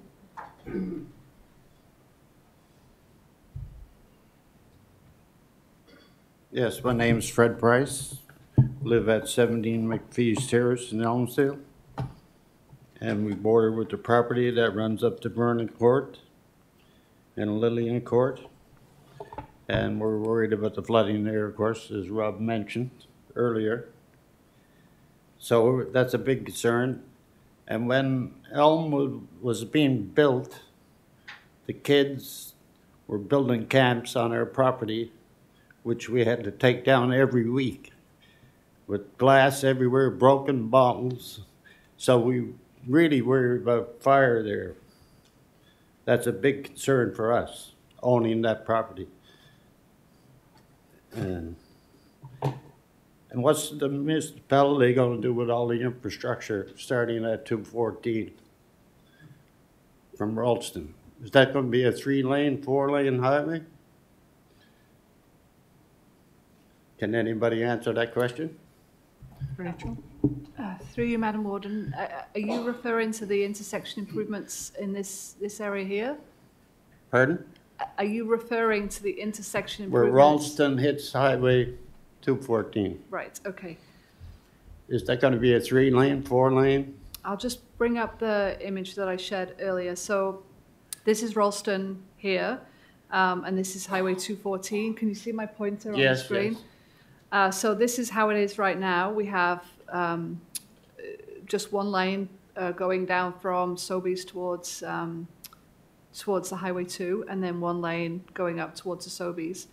As a result of the development, there'll be a need for a right turn auxiliary t- uh, auxiliary right turn lane, which will turn off um, Highway 214. So Sobeys is up here, down Highway 214, and there'll be this auxiliary right turn lane onto Ralston Drive. The rest will remain as it is right now. That's that's what the So traffic it'll be study just two required. lane from there down to the square? Is Yes. that correct? Just just one lane that way and one lane that way. So yes. Yeah. And now we're building uh, trailer lots across the river in Halifax County, which will be shopping at Sylvie's and Superstore or whatever. So all that influx of people, and there's nothing gonna change? Um, through you, Madam Warden, so when the traffic engineer um, prepared the study, they will have met with the, or discussed this with the Provincial Department of Public Works to see what scoping was required and what traffic numbers they needed to take account of. And I know that they did look at other new developments in the area to look at what the growth of traffic will be over a certain number of years. Um, so they have accounted for growth in traffic, not just from this development, but from around the development and other other proposed developments, um, it- to come up it- with their results Yeah. um, here, which is what this shows. This is this is what the traffic engineer has showed that is needed in this intersection to accommodate this development and also the, the, the development in the area. So is not gonna be any changes made with all the new developments around town? That's my point. Before, before construction starts. Uh, so through Ms. Madam Warden, this uh, this is what's proposed as a result of the development. That there is no other proposed um, infrastructure works to Highway 214 in addition to this. Yes. So I wrote your letter back in October 27, 2021, when you first presented this uh, proposal. We got all these subdivisions all lined up right, right against Highway 2. Why isn't there a secondary road stretching from Enfield right up to this new development, which each subdivision could interact with each other? Was that ever considered? Um, through you, Madam Warden, I'm not I, I'm not quite clear on what the question is Well, there. parallel with Highway 102. The Secondary road, like you see in a lot of the US states, they have a secondary road parallel with the highway, which creates movement in the village without coming out on our 214 or number two. Um, so through So it takes away a lot of traffic out of two and two fourteen. Was that ever considered? Uh, through you, Madam Warden, so any of the, the, the main roads in the area, Highway 102, Highway 214, Highway 2, that's all provincial responsibility, and they would look at what was needed in terms of um, uh, road infrastructure in the area to kind of move traffic throughout. Um, that, that's not a municipal responsibility. Well, was it ever considered? Uh, I, I don't know the answer to that question. I'm sorry. It should be. Anyhow, let's, let's move on. Uh, Okay, in that letter, I said, uh, I just uh, interrupt and ask folks you're in the gonna see a gallery if they highway could, uh, going from basically one of, or the two, the number two into Elmwood. Who's gonna come from Enfield and go on up to the square to make a left turn to go to Sobeys? They're gonna be going through the subdivision. So that's gonna become a super highway, as far as I'm concerned. Same thing coming back. So that's one thing.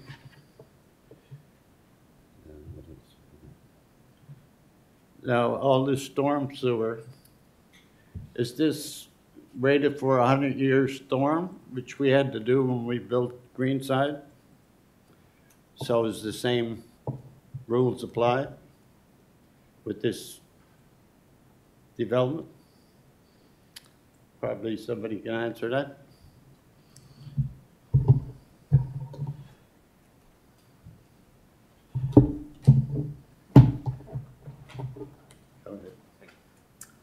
Um, so this, this development was designed for the one in a hundred year rainfall event that's included in the East Hants municipal specs. Um, it was also assessed for the one in a hundred year rainfall event in the Halifax water specifications. Now those 2020 specifications include a increase to the rainfall depth for climate change. So it has a 16% increase to the overall rainfall depth. So we, in our hydrologic model, we also passed that larger storm event through the system to see, to make sure that A, there wouldn't be surcharging in the system on, um, on Beach Street. So the manholes, there wouldn't be flow coming out of the manholes. There wouldn't be excess flooding concerns. And then we also designed our stormwater management ponds so that we would still be balancing post-development flows, even for that larger rainfall event. Um, so we, we designed it as per the East Hants spec and then also checked it with this larger rainfall event.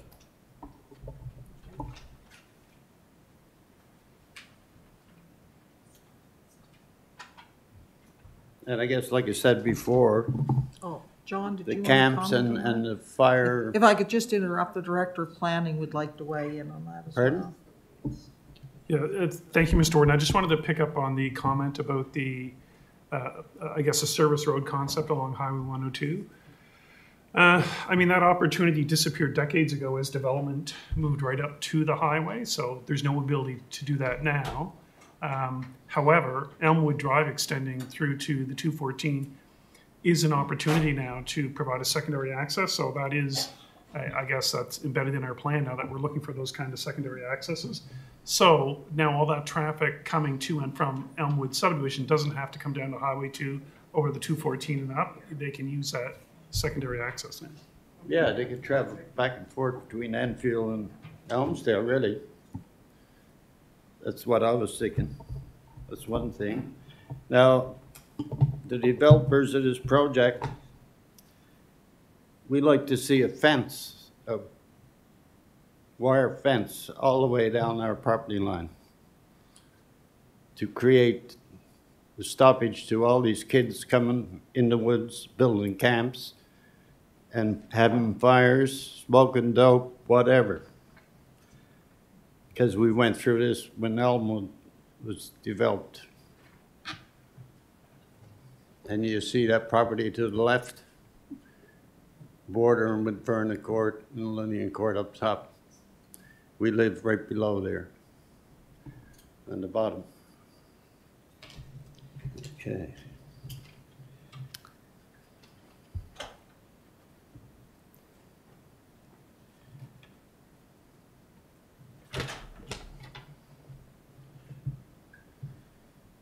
And like I said, if this proposal is approved, Elmwood Drive will become the new super short, shortcut highway to our local shopping area. Believe it or not, you'll see it. Not good for residents of Elmwood subdivision. Anyhow, we're proposing to have that fence put in before this is approved. Thank you. Thank you. Next. Uh, My name's Rose Seidel, and uh, we have the Briarwood Bed and Breakfast, which is sort of the very bottom of all of that um, development.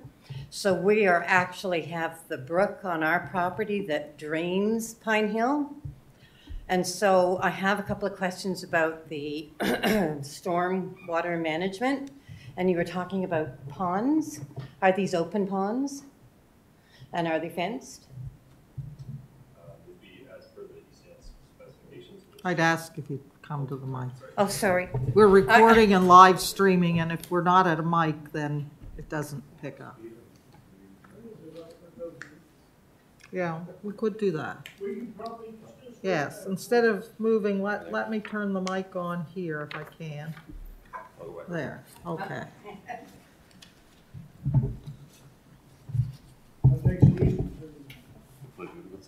Um, so these ponds could be designed with or without a fence. I believe in the East Hants municipal specifications, there's not a requirement for a fence. Um, Usually, we design the side slopes of the pond to be flat enough so it's not a fall hazard. Um, Okay. So the current plan is to not have a fence. If there's desire for a fence, I think I'm just, I was just curious. The only other thing I wanted to, you say you're bringing the drainage in from across the highway, you're feeding it through these huge pipes, you're coming across, uh, I suspect Beach Street somehow, going down the roads with these huge pipes, is that correct? That's right. And feeding them into this stormwater drainage, which is at the back corner of our property. So are you going to impact that brook at all? Um, so which, which So the brook is right there by your storm, you see where the temporary bulb is? Well, to the left of that, you Right. see the little brook that's running through, well, you can't see it, but the brook is right through there. Right. So there would be um, reduced flows to that brook as part of this. We're- Again, we're still working through the permit application with Department of Environment because we know that there's existing flooding issues on Pine Hill um, and B Street, and so we've proposed to reroute some of that flow. Um, There may be opportunities to discharge um, some amount of flow back to the brook near your property. Sometimes you can have like split outlet systems in a pipe system. Well, that brook's on our property, so you'd have to go across to where your multi-unit is to do that. So you wouldn't be able to access it off our property. Okay, sorry, I must be getting mixed up with. So you'd be going down to where your long multi-unit is off of McKee's Lane, because that's your property, so you could probably take some sort of a, I'm assuming that's what you'd have to do, right? Sorry, I think I'm mixed up on location. So, The brook that feeds past the fire hall, Mhm. so that's the brook that feeds through us. right, so essentially, um, between the very bottom of our development Yep, and Pine Hill Drive, yep, flows to that drainage system would be less than they are today. okay. So you're, so you have, I see you have one there that's on our property, then you have another one that's in behind Mr. McPhee's, I believe, which is on the left, it's sort of at the end of Maple and on the right. So that says stormwater management as well? Yep. So are you doing more ponds there? So the plan is to have three separate stormwater management ponds. Yeah, It partially has to do with phasing. Um, with the first phase, we need to have our first pond in place to be able to handle the flows from it. Um, it also has to do with the existing drainage conditions. Um, some of the runoff goes more towards the Beach Street area. Some of it is towards that water course that, that Rob was mentioning. And so we're, our, our, uh, profiles of our roads closely follow the existing grade of the land. And so we're collecting runoff in, in a similar area as the way it's currently collected. And so we have three ponds located at the low points of each of those kind of larger subcatchments. And so each of those, each of those ponds is connected with a pipe. Yes. And so runoff will enter the first pond, it'll get stored in the pond, it'll get slowly released into that larger pipe on Okay. Beach Street. It'll work through that pipe and it'll get into the second pond, which will have additional flow come to that pond from the development. And then it'll enter back into the pipe and get to the third pond and then eventually get discharged back to the water course. So as long as, my, my question is, is that You're gonna go in there and more than likely, what we've seen with the developments around here is they clear cut everything. So a lot of those trees are actually taking the water out of that land, mm-hmm. right? We're still getting flooded. Not us necessarily, but we do. Once Pine Hill gets flooded, our brook and area, all that lower field gets flooded, right? so now you're gonna clear all the trees off. So if these ponds aren't big enough, or your pipes aren't big enough, because that's what happened on Elmwood, that they didn't have enough capacity to take the water away in a timely fashion. So those are my concerns on, on, on the drainage ponds, right? I, I can touch on that one a little bit. Um, so we did consider the existing um, surface properties of the lands in our pre-development condition. Right. So we looked at it being wooded, and so there is a lot less runoff per unit of area for, Mhm. for a lot that's wooded versus um, a parking lot or a building roof or, or something that the water can't infiltrate into. Right. And so in our model, we do have different surface conditions for the pre-development and post-development. And so there is a lot more runoff that is generated with the new developed lands. Right. But those ponds are sized to To account for that accommodate it? increase in runoff. Okay. Another question for you uh, Just regarding drainage. before we go forward, I just ask when you speak if you could be seated in order for the mic to pick you up easier. Thank Get it you. figured out one day. So your, your building, your multi-unit, one building, I think you've changed the plan a couple of times. It was two, then it was one in the townhouses, and now it's one very large building. And I see it's like 12 meters away from our side property line, right? So I'm curious, what do you do about your drainage there? So that site will have its own stormwater management infrastructure. Yeah, It because hasn't it's been- very low. Right, and it, it hasn't been incorporated into the overall street system. Um, so there'll be, it could be a pond, it could be, um, large pipe that's underground. Um, there's, there's a lot of different ways that you can make up the storage volume you need. Um, so it would have its own stormwater management infrastructure so that it doesn't release larger flows once it's developed than it did before. Okay, okay, I think that's all I had on, on actually, the, so thank you very much for that. Um, I do have a question about your traffic light, um, for Ralston not being warranted. I have a real problem with that because Miller Road comes out onto the two fourteen. And we have, we have bed and breakfast, we have guests all the time. You cannot get out and turn left onto the two fourteen. You just can't. I mean, we're kind of handy to the to the, to the traffic lights, but even in the middle of the day, when there's not a rush hour, you cannot turn left. So anyone who thinks that they're put six hundred and sixty units in this development and expect people to turn left, there's gonna be a ton of traffic accidents there. Just Elmwood, I can understand putting traffic lights, that was warranted ages ago. But this problem, with everybody now going to feed out through Ralston instead of coming up the main drag and hitting the lights there, they're gonna feed out through Ralston and turn left. It'll be as bad as turning left off the off-ramp coming down from Milford to get into Elmsdale, and that's non-existent. People are turning right to go left. So I think that should be reviewed, in my opinion. Um, I noticed, uh, was it Crystal Fuller? Crystal. Um, you had mentioned, I never heard this before, but you had mentioned that there were going to be rental townhouses. I'm kind of curious how many. I'm just going to make these questions out there and then I'm going to sit down. So I was just curious how many there are going to be. And um, I noticed in the plans that there were supposed to be trees planted. I'm just curious, are they going to be planted? Is it, a, is it a municipal thing that they are planted? Okay, perfect. And um, now I know I asked this on the Zoom meeting that you had before as to when Elmwood was going to be opened up completely from the 214 to the 2. And I keep getting told, or so I hear, that it's not going to be done for quite a while. That that section, Rolston section, is going to be the one that's developed first. Is that still correct? Okay. So, and then when it is developed, then the traffic lights get put in at Elmwood? Is that the idea? Okay, so the, uh, the traffic lights, who does those? Like it says, I know, I, I know I heard Rachel say that this is gonna be good, it's gonna be, it's gonna trigger that. But who actually does those? Is it TIR? Um, through, through you, Madam Warden, I can answer that question. So the Nova Scotia Public Works will work with the developer to come up with an agreement um, as to how that work gets completed. I don't have information on who's going to construct them, but whoever designs that and um, builds that, that will all be approved by um, Nova Scotia Public Works Um, and the reason that they want to enter into that agreement with the developer is because they acknowledge that that intersection is past capacity right now. So there is a need for some improvements there. So they'll have that agreement with the developer. And um, as to who physically constructs it, I don't have that information. I, I didn't need to know who constructs it, I just needed to know the timing of it. The And, and timing. who's, if, if the developer has to do it, that was sort of the idea, or if it's a TIR kind of thing. Okay. So basically, as soon as Elmwood is open, does that mean that won't be open until the traffic lights are there? Uh, through you, Madam Warden, that's correct. The development agreement Okay. says that they can't connect that section until those improvements are completed. Okay. I think that's, uh, that's my, I, I just have one more question about the multi-unit that's going along our side boundary line. It says it's a 12-meter distance from what I can see. So 10 of those meters are untouched, is that correct?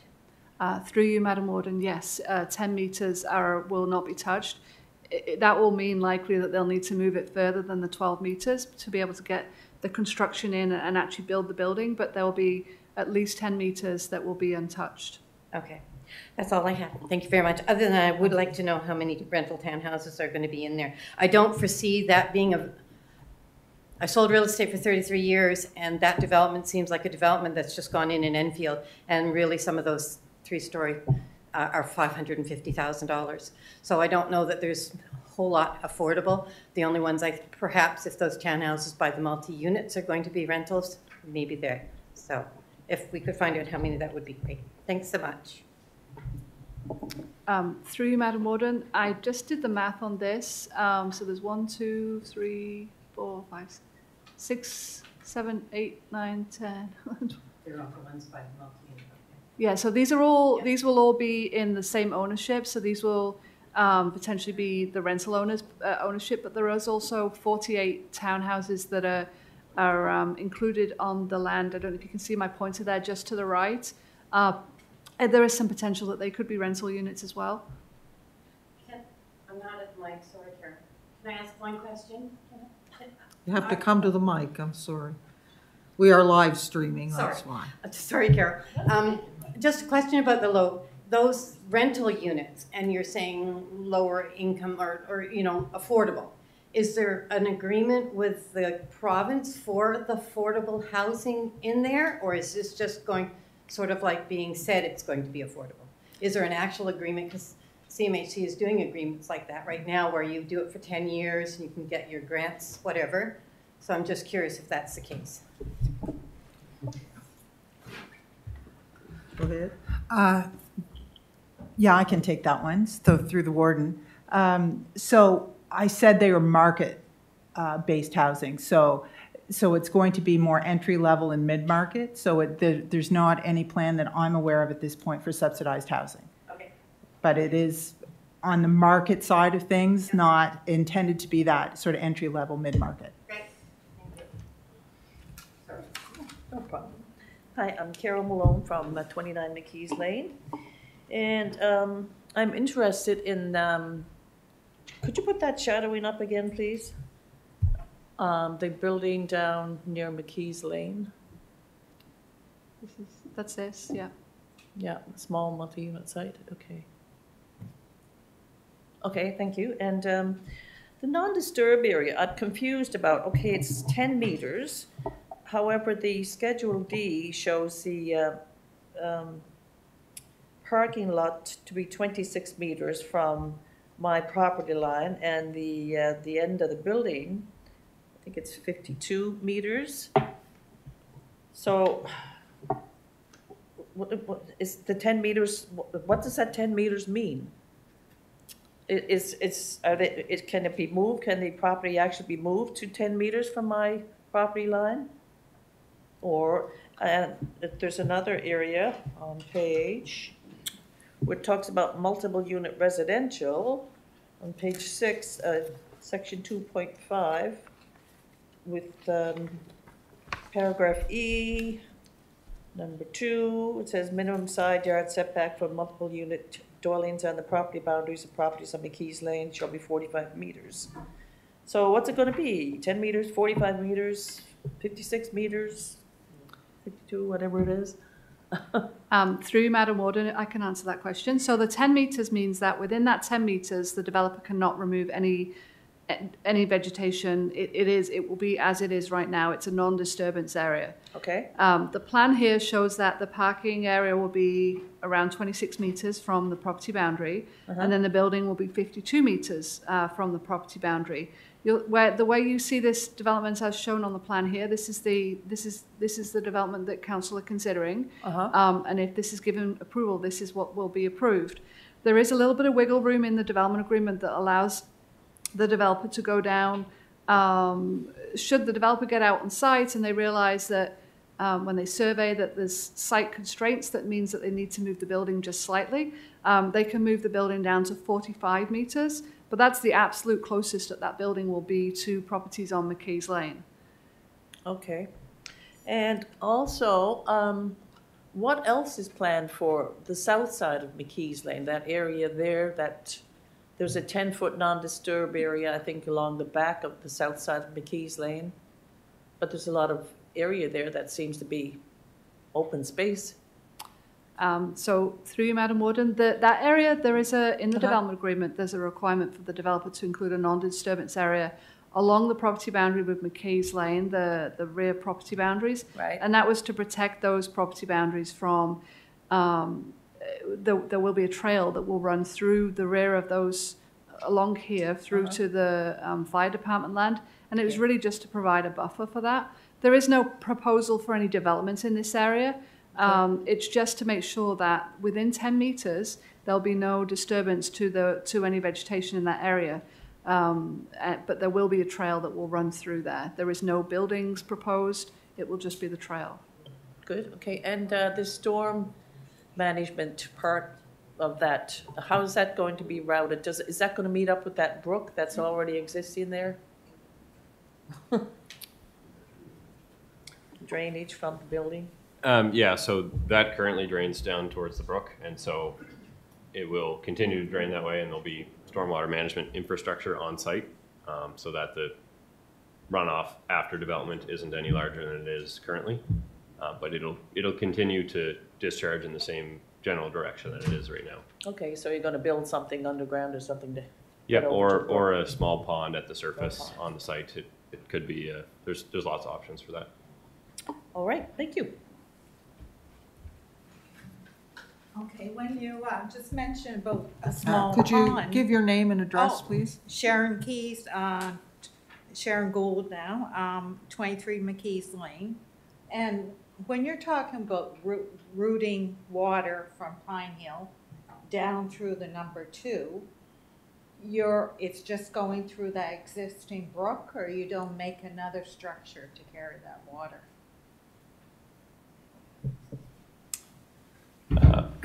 Excuse me. So from the Pine Hill area down to, um, I'll say the southernmost section of our development, the runoff will either be going through a pipe or through one of our new ponds.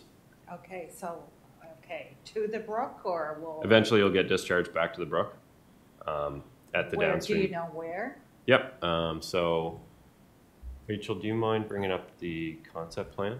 Because originally, like I live the second lot in from where the field, where that one apartment building is going. Originally, all the area behind there was non-disturbed. Now it's not anymore, so that concerns me, what's going to happen in there. Um, so the, the stormwater management pond or stormwater management area that's shown on this concept plan in the, Mhm. yep, exactly where the cursor is.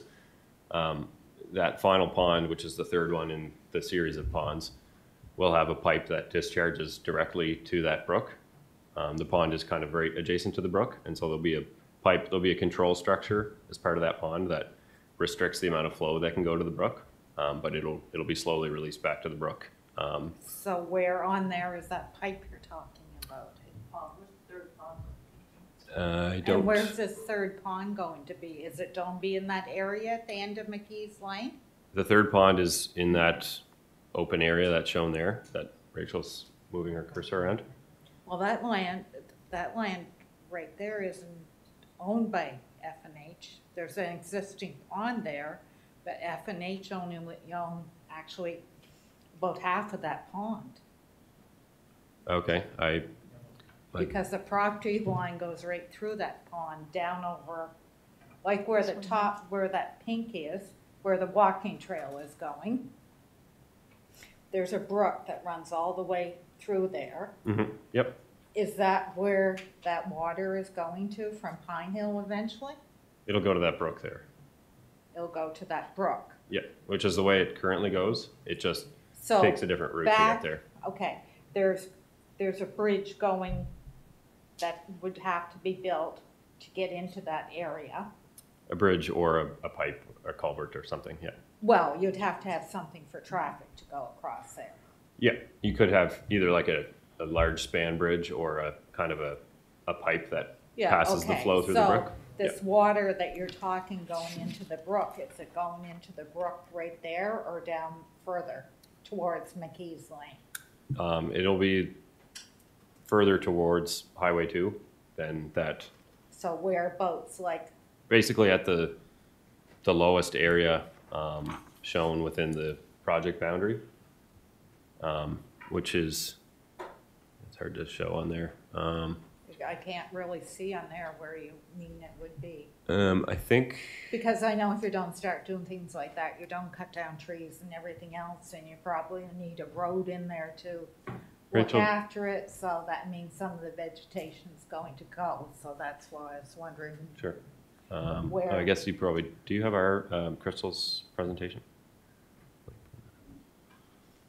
Because like I said, the area originally behind where, uh, the southern, the rear of those lots on McKee's Lane was all non-disturbed. Now it's, now that's taken out of there, so what are the plans for that area? Are you talking about putting stormwater in there, um, ponds in there? Um, so on this plan, in sort of the middle of the lower part of the sheet, shows our, our proposed pond in that area. Okay, that's where the proposed pond, Yep. okay. And it'll discharge from the lower portion of that pond that we're showing, just kind of up And to it'll the run right, back into to the the brook. brook. Yep. And is that, that's the existing pond that's there, isn't it? There's a, there's a wetland area in there. Um, it's not an official pond. It's, it's been marked as a wetland. There Um, is a pond in there too. So that area, they do have, they do have, uh, environmental approval to alter that wetland, so the pond So it'll pond, be going down there. that's right. That's for sure, okay. And that area at the end of McKee's Lane, where's the water and sewer going into that area from? Keys Lane. That Um, apartment, building? where's the water and sewer? So that, that would be coming across the, um, new access, um, like the driveway to the multi-unit building, I believe is the plan, to bring it in from the, Or You, you don't know, or from the that's proposed what- development. Um, yeah, so it'd be bringing it from the proposed development across that driveway to the new multi-unit apartment. So that's where it would be going, it wouldn't be going up McKee's Lane into that area? Uh, McKees Lane is just south of the multi-unit building, is that right? Um, no, we're, we're not proposing connections there. Okay, okay, that's what I wanted to know. So there's no, there's nothing, um, proposed behind those lots on McKee's Lane where the pink area is then? There's nothing, pro- As far as I know, I, I have, I'm not familiar with the, I guess, the plans for Like that there's- multi-unit site, but I, I believe Crystal said there was, or Rachel said There's there's no. nothing planned for it in there, like no water and sewer structure, no pumping station, no, um, lines to drain wa- water from Pine Hill or Well- anything like that? Yeah, the engineer just left, but I can tell you that that area, the, the weird tail to it, is, that's really what you're talking about, sort of the tail area right there. Yeah, that goes Yeah, that's- right, that area. That's what a developer would probably consider as, as, uh, just, uh, land they can't do much with. Well, Because it, it's it's not not very wide, it's not big enough, it's, it's, uh, you know, it's behind existing properties. You You know, try, yeah. so, no, the intention is not to have any built, anything built there. The trail is going to go there. The municipality yeah. was very And, clear that they know, wanted that. So there's no plan to cut down the trees, to put a pipeline out there or water Yeah, sewer and or I. I, and uh, I don't mean at all to speak for the engineers, but it would strike me as very odd if you didn't come off the, the, usually. Like that's higher street- ground. Streets, uh, streets usually contain the infrastructure, the water and the sewer. and it all goes in the street. So the, Yeah, the I infrastructure will come right to the driveway. But and you like can I walk said, that is what initially, it that is. was all non-disturbed in there, or that area, and now No. it isn't anymore. Yeah, no, it's not gonna be, not, there's gonna be a building there, yeah. But it's just gonna be one building, but as before, there was gonna be some two, two, and there was gonna Yeah, be some yeah, So townhouses. that area that goes out to number two, there's nothing planned in there, nothing that, all the trees will stay there and things like that. There'd be no. I can't, I, what I can tell you is that the intent, th- there's gonna be a trail there, so. Yeah. I know that. That's And, fine. and there's not gonna be any building, and there's not gonna be any parking. There's not to obey sewer rain lines. Okay, that's fine. Um, and I might have met, missed it, Rachel. How high is the apartment building in that area? How many stories?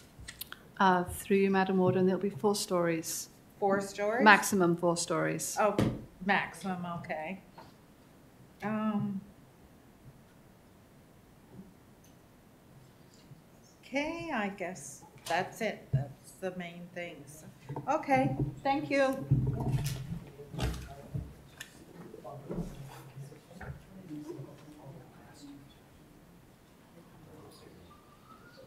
I'm Cara Van Houten. I live at 22 Lorna Court. If you go back and you look at this development, there's one piece of land that's going to be developed right behind my house. It is literally five feet from my back fence around my pool. I have been upkeeping that property for the last 10 years. We've been using it. I've been in contact with the developer, Faisal. He has come to an agreement with me that he's willing to give me 20 feet of that land because I've been doing this, providing that the council will approve it. He has also said that where the road is going, where that house is going to be developed, his original plan was to put a walkway in there. I don't understand why there needs to be a roadway put in there when you're gonna have a park in there with children playing. You're gonna put a road in for one house, potentially, and we're gonna pay to keep that road upkept, which the municipality cannot even keep the roads cleaned in the wintertime as it is. I have an issue in my yard with a culvert that is tilted backwards. So when the water goes down into the, into my ditch, it backflows back into my property and not through the culvert itself. There's a hole that's been developing in between the two culverts that, I don't know who it was, somebody came in and just dumped some asphalt in it and that was it. And it's starting to deteriorate again. I'm pleading with the municipality or Department of Highways or whoever is responsible to come in and fix these culvert situations before any development gets done. You have children down there that play. I've witnessed kids almost being hit in that cul-de-sac from the way the traffic is now. And now we're gonna put more traffic in there with the risk of hitting more children. I have three grandchildren, a fourth one on the way, that come to my house daily, that like to play outside, that are six, four, and two. And I'm gonna have to be worried about them possibly getting hit by a car because there's no speed bumps. Why can't we do what they do in Halifax? Put speed bumps in if you wanna develop this. You know, like five feet from my backyard, I'm gonna have no privacy at all. You know, I just don't understand the concept of putting a road in there for one house where there's gonna be a park when the original plan was supposed to be a walkway. The neighbor behind me, right beside me, he has a little guy that's two years old. Caitlin, she has three kids. My other neighbors have two grandchildren. My neighbors beside me have children. There's an abundance of children in that area. And I'm worried that one of them is going to get hit one of these times because people are driving way too fast in that cul-de-sac. Dave, you've seen it. Them flying down that road. Even when they're even when Amazon and them come down, they're flying down that road. There's just, it's gonna happen. And I'm asking that that development of that road not be put in from Beach Hill or Beach Street because as far as I'm concerned, there's no need for it. And that's all I got to say, is that just I would like to have my privacy that I have. And I don't know what the limitations is as to how far they can develop between two properties. But as of right now, it's looking like I'm only gonna have five feet of privacy. And that's it. And that's all I got to say. Thanks. Um, Madam Warden, can I address some of those points? So the, um, the lady there was referring to this, stre- this stretch of road here. Um, so the developer, there was some discussions. The initial plan that was submitted by the developer did show this connection as we see it right now. Um, there was a, another change to the concept plan um, a little while ago where they did remove this section of road and put a walkway through and extended this park area. Um, planning staff felt that this really didn't meet the planning strategy in terms of connectivity um, and short uh, blocks and in, encouraging um, people to kind of walk and without having to um, kind of double back on themselves. So we uh, requested the developer put, reinstate this section of road here. And that's where we are right now. The planning staff support that this, this uh, section of road be maintained. Um, It's more than just providing access to this one property. It's about the whole connectivity of this, this area as a whole.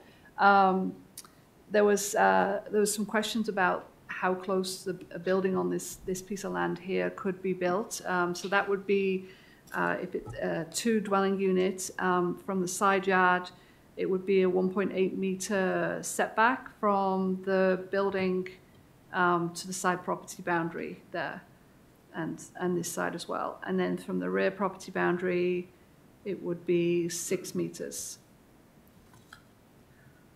So six meters is all I'm gonna have for privacy now. And you know what? You are forcing the developer to put a house in there, to put a roadway in there, when they do not want to. I know what I'm saying, and I know what a lot of us are saying, isn't gonna matter to anybody, because the municipality is seeing dollar signs. That's all they see. They can't keep up with the roadway, our road conditions in the wintertime. I've called numerous times. I've had to call Department of Highways, I've had to call Basin, and all I get is the, run- and then I call the municipality and I get, no, you gotta call this one, you gotta call that one, you gotta call this one, you gotta call this one, that one, that one, that one. And it's just a whole circle that I get every time I call about an issue. So if the municipality is gonna be looking after the roadways and stuff, they need to start making sure that the roadways are being done properly.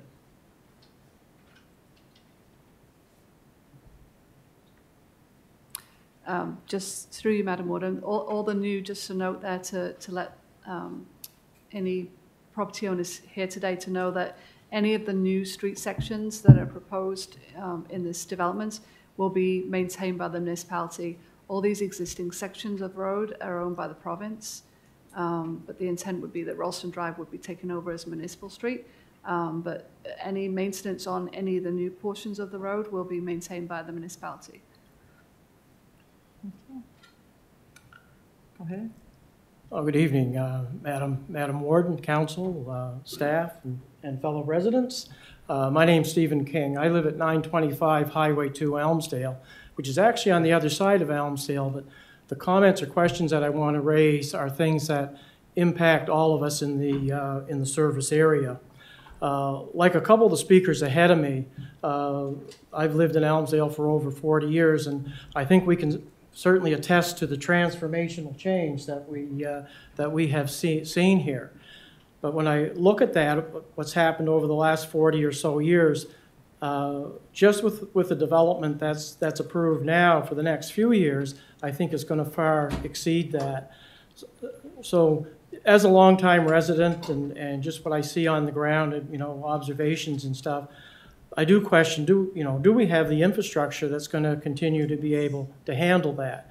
Uh, I live on Highway 2, and it just seems to be more and more and more breakages in the main water line, uh, uh, whether it's in Lantz, whether it's in Enfield, Elmsdale, or whatever. Uh, You know, it it certainly seems to increase. A couple questions, and probably our engineering staff uh, probably be the, maybe, maybe the best to answer it. Um, on the wastewater side of things, right now, uh, everything goes to the lagoon system in Lantz. And with just what's been, been approved now for development, this doesn't even include this development here, uh, we have probably right around or just under 3,000 water customers, so it's going to more than triple, uh, triple that. I know there are two lagoons uh, in Lantz, uh, as the crow flies, they're not awfully far from where we live. So my question, first question is, uh, do we have the capacity uh, at that Lantz facility to handle this, this immediate growth?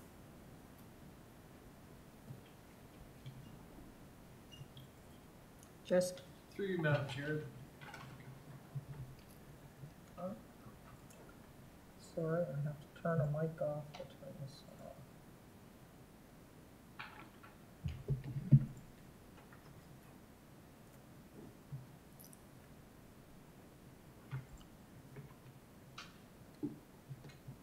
My apologies, the little wheel is spinning as I try to move the Uh, mic. Through Madam Warden, uh, the, how capacity works and gets, gets determined, it's each phase of uh, develop, development. And so we approve based on segments of development that come in and allocate capacity based on what's coming through. So anything that happens across the network, it's, it's phase by phase uh, until until there's need for greater infrastructure uh, advancements. So right now, um, as a standalone item, uh, it, it's it's not an issue. Um, when you talk about the complexity, it, it depends on phases, and we make a decision after each and every phase. So it's not an easy yes or no or or uh, maybe question because of the complexity of, of all the developments going on. But we go and make our decisions and approvals on phase by phase. Thank you. But uh, just on that, and, and follow-up question that just came up uh, because of that response. So there could be literally 6,000 approved uh, applications for residential units, and some may or may not be ready to go. So if a smaller local developer comes in, he's ready to go and applies, uh, do they have precedent over him uh, if they're not ready, ready to go? Through you, Madam Warden, I'll, I'll answer that. It is, uh, so the municipality approves, uh, if, once a, a development's approved, uh, they're on the clock. So you've got, you've got two years to make your development happen. Otherwise, that capacity goes back in the pot, if you will, and, and the next person can take that up. So, um, and so the municipality doesn't allocate necessarily capacity for an entire development. It's phase by phase. And so someone can't come in and say, hey, I've got 3,000 units of development and take up all the, the, the capacity. That's not how we allocate. We allocate segments so that everyone has an opportunity to participate. Okay, that's good, good to hear, because I think diversity is very, very important, and, and we don't want to shut out, uh, you know, our local developers uh, because they're not already in, in the queue. Thank you. My biggest concern on infrastructure is our source water. Um, It's very vulnerable. And, uh, you know, I think we're only seeing the tip of the iceberg now on climate change impacts. Uh, We're, we're seeing, and we'll be seeing a lot more fluctuations in water levels. The waters are warming up. We're seeing more pathogens. We're seeing blue, blue-green algae, uh, that, you know, that type of thing. Also, uh, I think our, our, our source water, where we draw it from, is also very vulnerable to pollution and also spills. It's really close to where the, the main highway through the province is and also the mail, the main uh, rail line through the province. So my question regarding that is, is what contingencies or options are in place now should we have, because this affects all of us. This isn't just a small area. This is all of us in the service area. If something, do we have contingencies and plans in place now for either an alternate source of water or, or some type of contingency should there be a major issue with that water supply?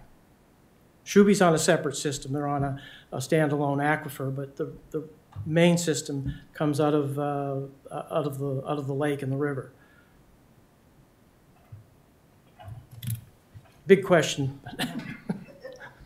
Right. Um, through Madam Warden. Uh, so, so ultimately, the regional system draws water from the Grand Lake watershed. We draw um, we draw water out of the Shubie River that is ultimately coming from Grand Lake.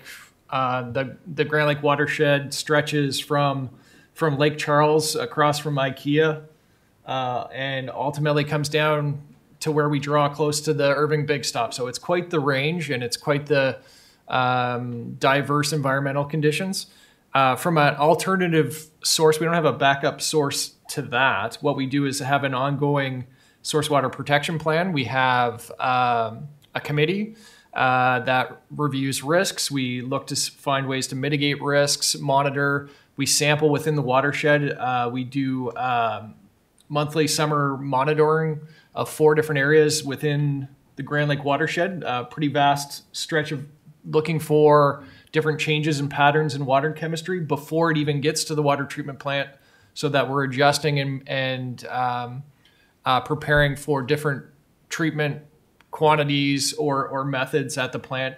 Um, in a case of an emergency or spill, we have an emergency uh, plan. Uh, we draw from water towers for a certain period of time. We have spill booms to deploy. We have emergency resource contacts to to to patch in. So we would tap on that contingency plan uh, that is documented and uh, would execute in that way. Um, most recently, uh, I would talk to advancements in our source water protection planning. Um, we did have uh, blue-green algae bloom last year in Grand Lake, uh, so it didn't impact our water utility. Uh, that but it did encourage us to augment even further. We just completed our first drone video of the uh, Shubenacadie River from the water plant to Grand Lake to benchmark, and we'll be monitoring throughout the summer.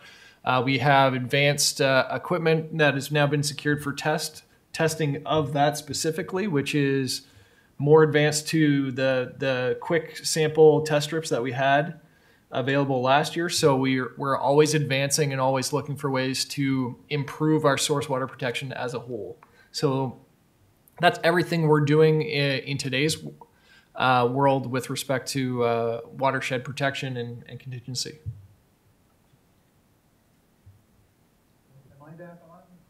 Oh, I am now. Uh, Thank you, Jesse. I I appreciate hearing that. Uh, Again, it is something that will impact every single one of us, and, and, uh, uh, I mean, so at the moment, we don't have or not looking at any other alternate source should, should we need it.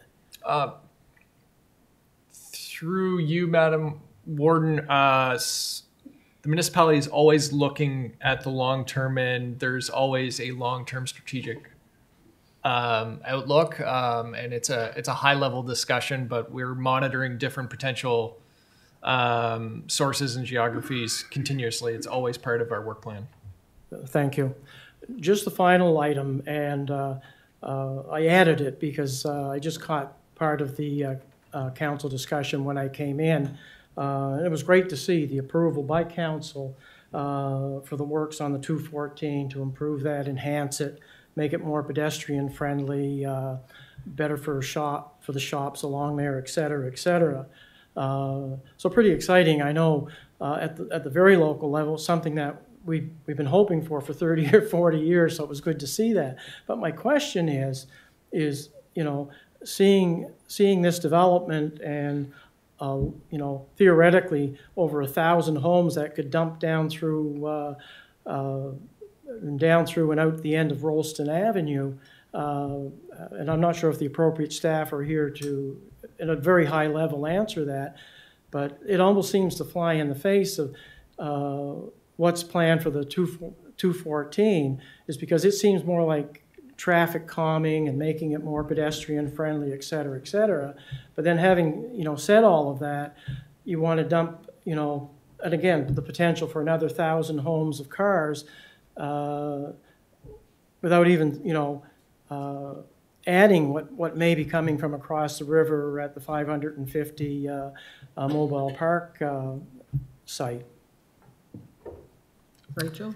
Uh, Through Madam Warden. So the Public Works have reviewed the uh, traffic study and they, they agreed with the recommendations. Uh, They were also involved in the study for- on the Highway 214, the, the study that um, FBM prepared for us. There was extensive consultation with, um, with Public Works with regards to that. They were aware of the application at that time. Um, They didn't raise any concerns when, when reviewing that Highway 214 um, project. Uh, So, and also in planning staff's opinion, um, this actually will complement that, that Highway 214 um, streetscape improvement work. We have an active transportation trail that will link through to any potential active transportation trails on Highway 214. We have the sidewalk that will link through and then into future develop, into other developments on the other side inland. So um, planning staff don't see this as not um, kind of flying against that uh, that work on Highway 214. We see the, them complementing each other. Thank you. Thank you, that's all I have.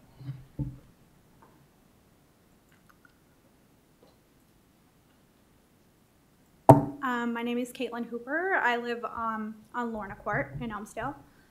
I don't have any questions, but I needed to come speak my piece just because I couldn't sleep if I didn't. Um, so I filled out the surveys and share many of the listed concerns that Rachel presented. Um, unlike many of the people who spoke before me, I am a new resident to East Hants. Um, I have three small children, and um, I noticed you guys talked a lot about connection and connecting and walkability. Um, something that I thought I, I would like to point out is that our neighborhood, currently as it exists, is walkable. Um, and our children often are walking. Um, and so, one of the things that you're proposing, this street that connects down um, onto Beach that Kyra was just talking about, is bringing more traffic and um, more, like she was saying, more vehicles, more cars into our neighborhood. Um, so we chose to live in this area because we're on a cul-de-sac. Um, it's quiet. Most people coming in and out are just going to their homes and or to work. Um, we're aware of the lack of housing and the housing crisis that's currently happening, and that this development would certainly help mitigate this issue in our area. Um, I'm not opposed to development, but as a parent, I felt the need to speak on behalf of my family. Um, so we've lived here since 2019. I'm not going to talk about water or stormwater because Dave actually did a really good job of that. He shares my opinions and thoughts. Um, but one thing that I did want to talk about is safety. Um, my son is three. He is, sorry, he's four. Um, he is autistic and a flight risk. So for our family, that is specifically why we chose the area uh, because it is safe. The proposed street coming down, connecting onto Beach, um, means that it's potential potentially creating an unsafe area for our children to play. Um, our children walk often from Lorna Court up Beach um, and down Pine Hill to visit with friends. This is going to create traffic moving through the area where it normally wouldn't.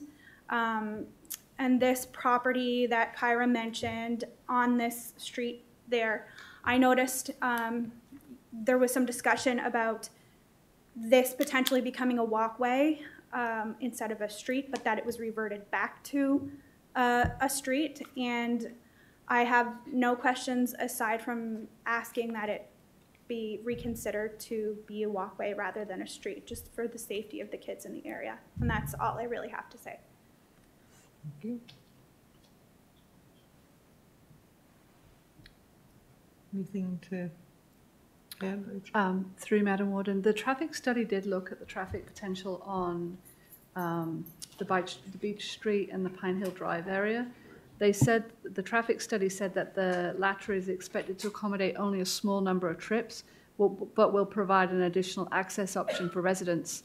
The Pine Hill Drive access also provides some future access redundancy for emergency services and municipal services. So what that means is that the traffic study has said that um, they don't see a signi- they don't see um, well they only see a small number of trips generated from um, the development through this area. Uh, so they didn't foresee that this would actually increase traffic significantly in this area and that it actually was a benefit because it provided an additional um, entrance into this area for emergency services um, if that was needed. Thank you. Okay, folks.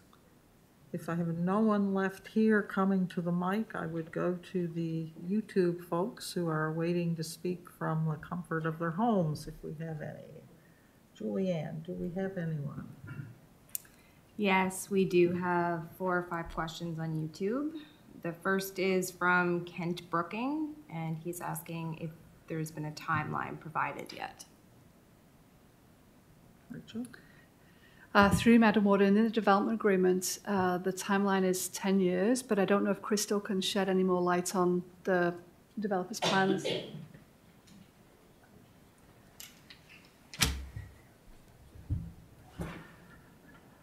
Uh, Thank you. I I mean, I don't think it comes as any surprise to anyone with the market like it is and the need for housing that the developer is fairly keen to get going.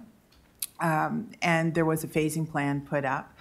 Um, Big projects like this often depend on where the market is, how many people need housing. So obviously, right now, it's, it's uh, um, uh, kind of, a- as someone mentioned, a bit of a crisis situation. However, there's still many, um, I was going to say hurdles, but many tasks that need to be completed before construction could begin. The development agreement uh, still needs to be considered by council, then it's going through the subdivision process, a tentative subdivision process, then it's the construction. So um, it's going to be a while yet before there's houses in the ground, but the developer is keen to uh, get, get it going as quickly as the market will support the sale or rental of the homes. Kind of vague, I know, but it's hard. The market can change in a second.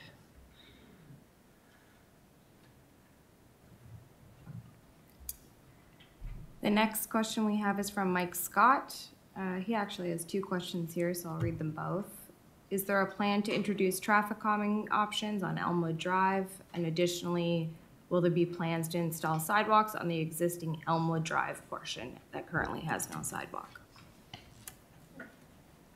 Uh, So, Madam Warden, through you, there is a requirement in the development agreement for the developer to, to propose traffic calming on the proposed section of, I'm just trying to get the text here. Um, So the, the, the text in the development agreement is, the developer shall be responsible for the design and construction of traffic calming on the new section of Elmwood Drive and the new section of Ralston Drive.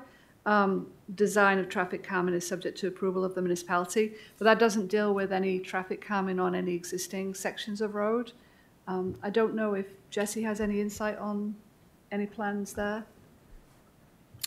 Uh, through you, Madam Warden. Um, actually, yes, the intersection of Elmwood and Hemlock is going to be transitioning to a four-way stop later this summer. Um, that stopping and starting is is a way to slow and calm. Uh, right now, if you stay along Elmwood, you can go straight through all the way to Vernon Court without stopping. That change will change the speed pattern through that section of road, and that is going to be the pattern throughout this development. It it will enable flow through the development, but it will not be a throughway because of the stops and starts throughout. So it'll be a less ideal route for, it won't be an ideal route for shortcutting. It'll be uh, a controlled, um, uh, a controlled flow through this new development plus the addition of the four-way stop at the corner of Elmwood and Hemlock will have that same theme throughout of the stops and the starts, which which helps with mitigating the speeds.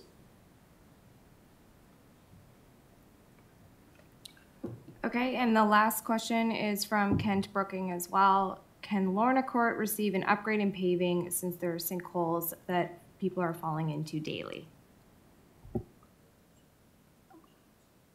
Um, so that would be a provincial road. Um, how does that work with our infrastructure?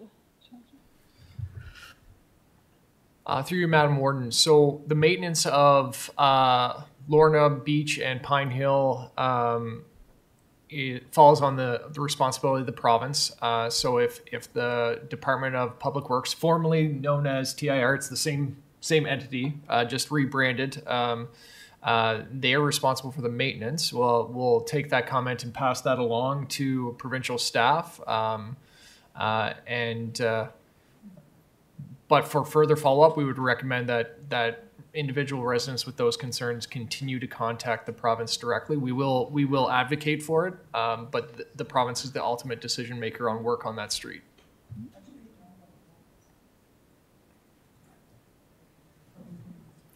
Apologies, there is one more comment also from Ken Brooking. Um, because of the amount of children in Lorna Court Beach area, can we designate a 30 kilometer per hour speed? Uh, Through you, Madam Warden, that would be a discussion with Nova Scotia Public Works. I don't know if that's something we could advocate for as well, or, um, but the residents should have a discussion with Public Works to make that request.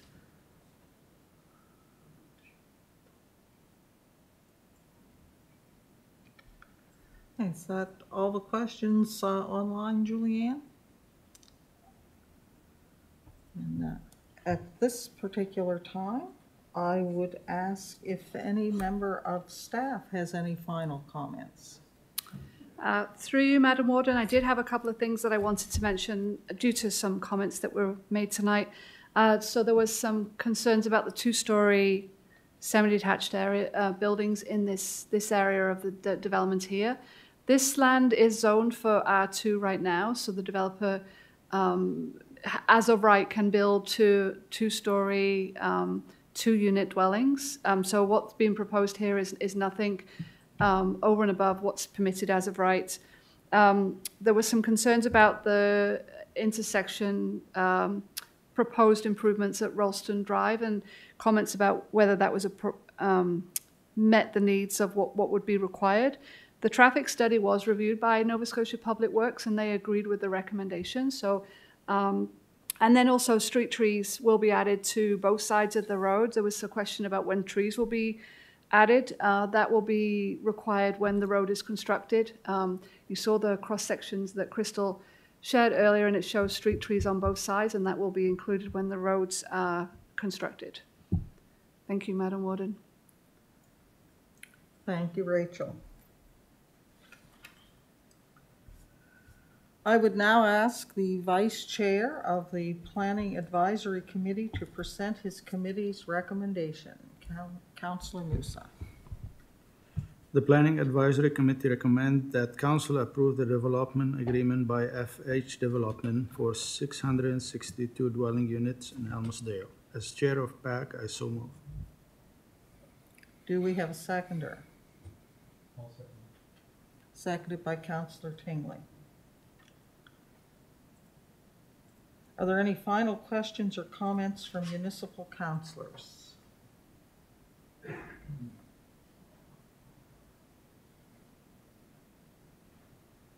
Going once, going twice. The thought club. Councillor Tingley. Uh, Yes, I- I'd just like to thank the public uh, members that came in and spoke about their concerns here tonight. Um, I didn't hear any concerns about necessarily the the multiplex buildings, but uh, uh, the concerns about uh, potential flooding and streets and that sort of thing, that's, that's very real to people that live here. And uh, I can't imagine uh, being worried that your property is going to flood all the time.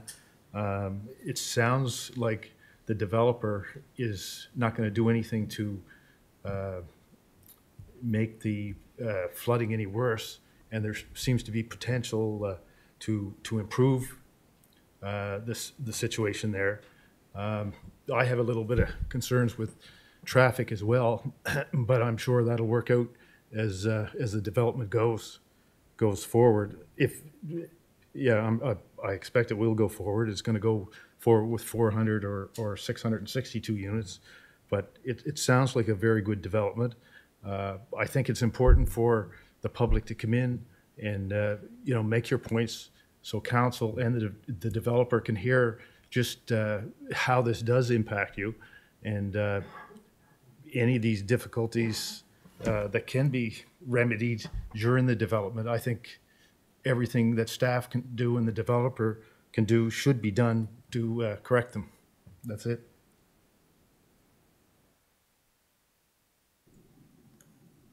Counselor Moussa. Uh, Thank you, Madam Warden. Uh, I really don't like that shortcut beside the playground. And that's gonna add, like, in, in probably 100 feet or 200 feet, you're gonna have two stop signs and people, as of now, I don't think any, anybody respect those stop signs. Even, even when going, uh, I don't live here, I live in Mount Uniacke, and that stop sign by the Irving is a drive-through, and you see accident after accident after accident. So I could see that, that what the resident point, and I don't, I don't agree with that, especially next to a playground. And that's, that's gonna be a problem in the future. So that's, that's one thing. And the other thing, and I don't think like the developer is gonna make any money over there. The cost of the street is gonna overcome the cost, like the profit from that small building they're gonna put over there. So if, if that will change to a walkway, I think it's very, like, on a cul-de-sac, you're gonna have two stop signs. I don't, I don't see that. I didn't see it before, but probably the residents are doing a better job than me looking. Thank you. And the, the other question I have, uh, with all those development to Jesse, so, so if, if we become, are we gonna become like Shubenacadie, stop building until we find a new source of water or something, or like the,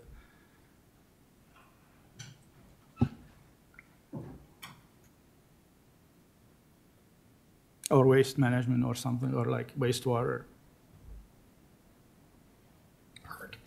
Thank you. Through you, Madam Warden. Um, for this development as a standalone topic in the first phase, there, like as I mentioned, as you go phase by phase, it's not a it's not a concern. Um, and as these developments come in, what is collected by the municipality is something per lot uh, or per dwelling unit called infrastructure fees. And what infrastructure fees do, uh, currently the rate is is three thousand dollars for water, three thousand dollars for wastewater per unit, and it comes in, and that builds up a pot of money that the municipality then invests in further capacity development. So there, every time a development comes in, it's paying for the expansion of the system uh, as as it's happening, and so there's always a continuous flow of money so that we're preparing for the next phase. Um, so the next the next phase, I think that's a bigger conversation uh, for the municipality. From a water stance, um, a water stance that's that's a, a big topic on choices on how big the municipality wants to, to get. That's not triggered by this individual development. Uh, and wastewater is the same one, and it all comes back to where you're going to want to, as as council and as a municipality, to spend your infrastructure charges, and how and when. Is it on plants? Is it on upsizing pipes, depending on needs? And that's going to come bit by bit over time. So as this development, uh, I w- I wouldn't say that that's the case or the issue. So as a bigger regional discussion, I think that's a capacity discussion that'll be coming out. Uh, one thing that is happening this this coming year is there's a capacity study that's going to be taking place.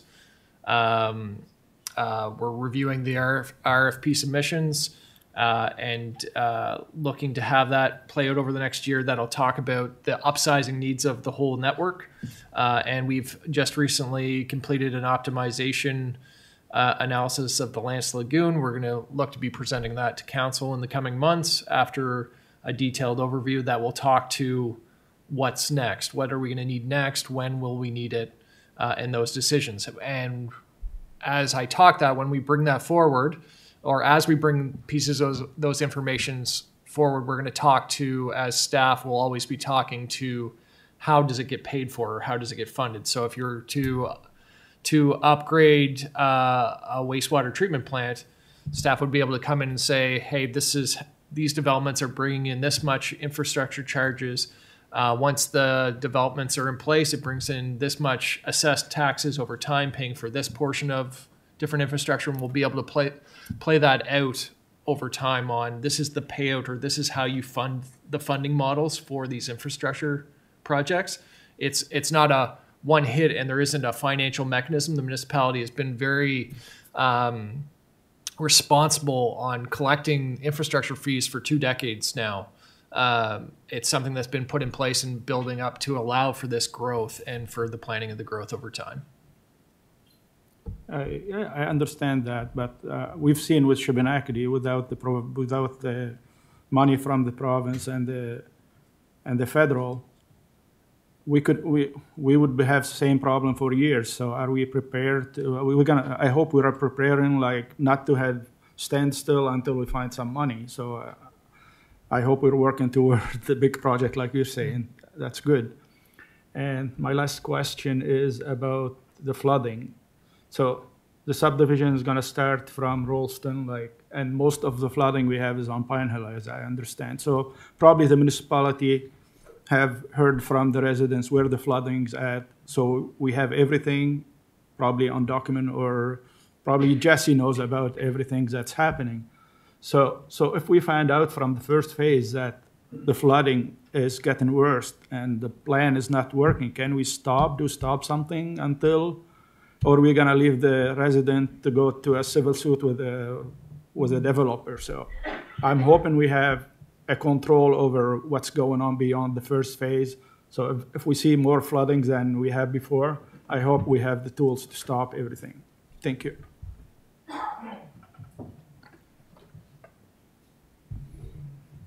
Um, Madam Warden, I can just address that last comment. There are enough measures in the Municipal Government Act to uh, enable the municipality to address any issues where the developer doesn't comply with the the development agreement. Um, and by that I mean if the developer doesn't um, match uh, pre and post development flows. That there's enough in the Municipal Government Act, and our municipal solicitors provided some information to us on those um, those abilities for us. So staff are comfortable that, that there's enough there for us to deal with that if that becomes an issue. Thank you. Thank you. Ask one more. So, I, I've heard before, like, I've been on council for five, six years, and every time flooding, like, between neighbors and stuff, it's a civil suit, like, we don't interfere with anything. We don't have any, probably we don't have anything in our bylaw that, like, I know in Mount Uniacke, so there's a lot of flooding around, people flooding somebody else's property, and I asked John, he said, we have no tools to stop it or nothing in our bylaw. Is that right, John? Um, through you, Ma- Madam Warden, uh, just just on that, this is a little bit different in that this is a, a development with a development agreement. So we're, we're saying to the developer, if this gets approved, you can build this development, but you have to match pre and post development uh, flows. Uh, what what the other instances that we're um, where we say, you know, that's a civil issue. It's where you have existing buildings next to existing properties and there's flooding issues between those two properties. This is a different situation in that we have that ability through the development agreement and through the Municipal Government Act to actually act on um, anything that the development doesn't comply with through the development agreement. So it's a little bit different than individual property owners having issues with their neighbors. So that's, that's the answer I want to hear, that we have the tools to control everything. Yes. Thank you.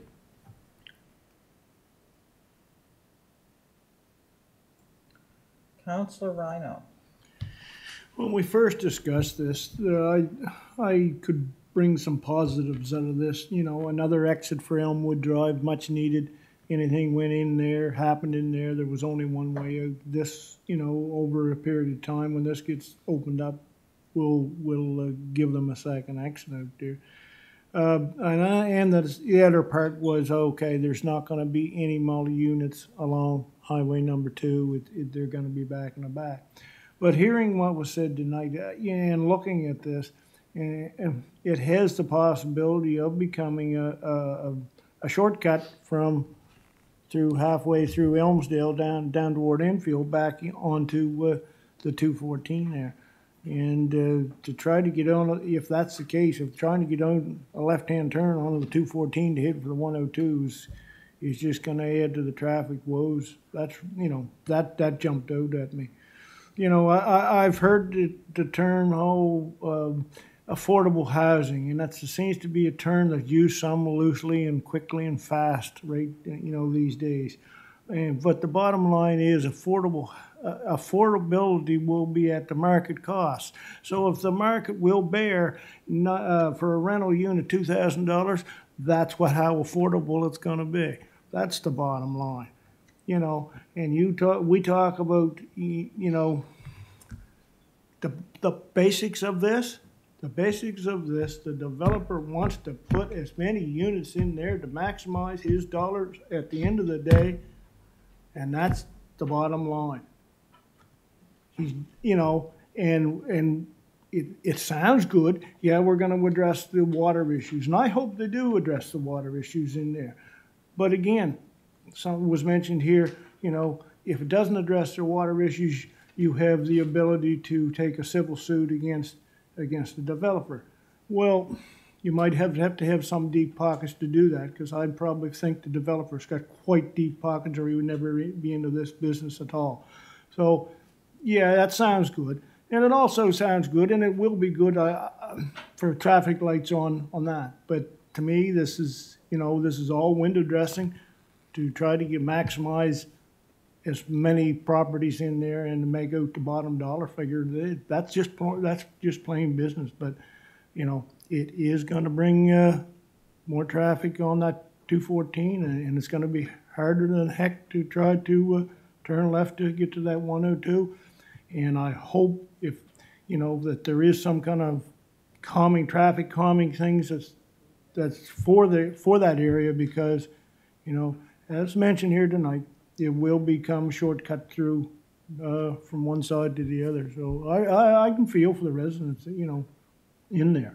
But I, you know, but I also can see it's gonna give that second exit to Elmwood, and, and that's been my concern over the years, that, that was built with only one exit in the first place, so. Anyway, those are my comments, thank you.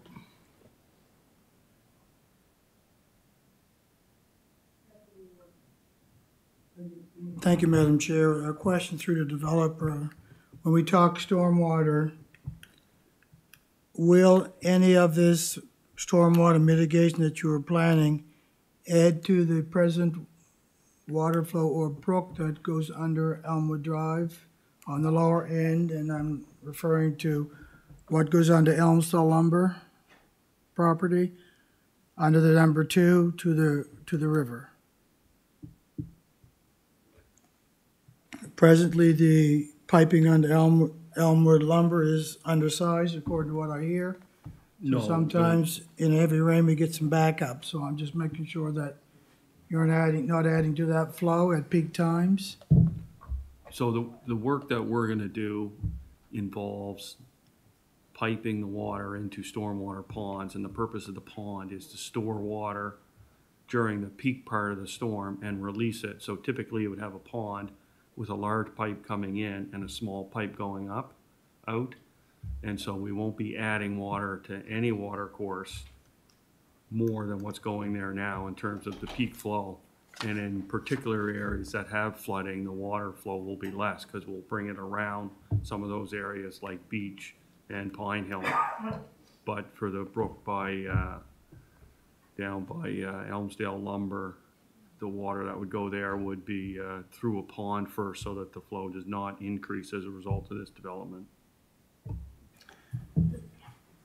The Elmsdale Fire Department was uh, dealing with the active transportation route that comes down along the property, and I'm not sure if this is uh, a municipal issue or working with the developer, but they'd like to have that route fenced off, away from the water course and also away from the fire department's remaining property, so there's no liability issues. Is that doable? Madam Warden, and I can address that question. Um, So that would be the municipality. The municipality has negotiated an easement over the multi-use area down um, and would attend to that to meet highway number two uh, through the fire department land. I believe um, the um, manager of open space, I'm, I'm sorry, I, I forget Evan's title, but he had said that that was um, uh, uh, they could deal with a fence for, with the fire departments if that was something that they needed. Thank you.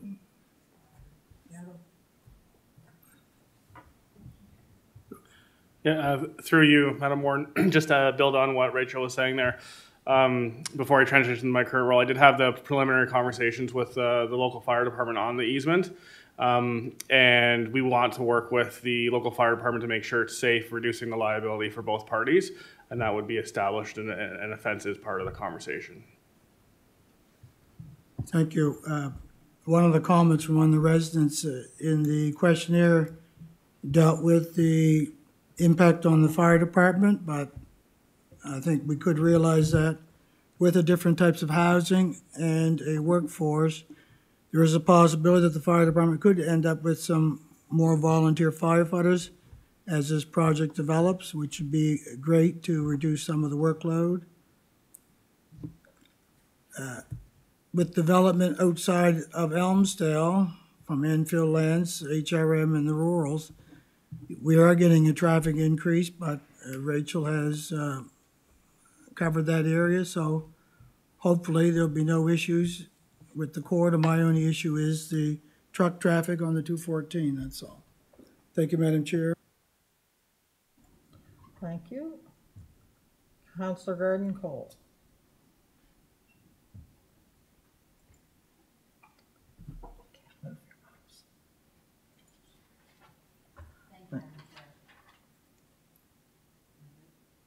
Uh, your mic does not appear to be working. You're lit up on the screen, Counselor Garden Cole. Um, maybe if you move to the empty seat.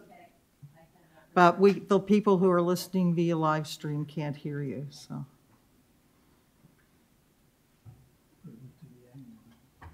So, We're playing, uh, musical chairs here, folks.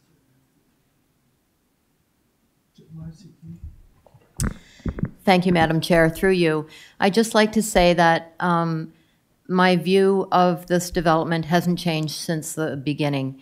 Um, For the residents uh, who are living in a residential area, a a development of this magnitude is unexpected. And uh, I feel that uh, four-story apartment buildings and also um, the size of the lots for the uh, duplexes or the townhouses are very small to cram in as many as they can. And those couple of issues for me are, um, are, are just ones that I can't, uh, that I can't support. So that's it for me. Thank you. Hey, does any other counselor have any questions? Are you ready for the question? Question's been called.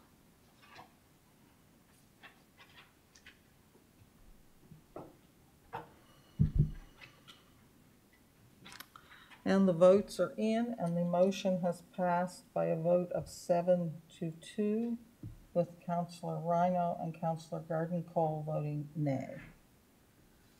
So folks, that concludes tonight's public hearing, and I would like to thank everyone for attending. Okay, counselors, uh, returning to our agenda, we have left the Parks, Rec, and Culture report, a second reading, our business from counselors, and a couple of in-camera items. We are beyond our anticipated hour of adjournment. I guess I'd just like to ask you if you'd like to have a short break before we continue on, or what is your wishes? Uh, I have to get back where I can get the mics on. Counselor Rhyno.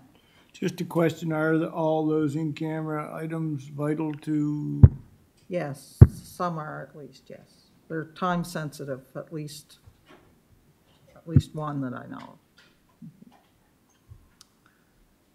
So would you like a break or carry on?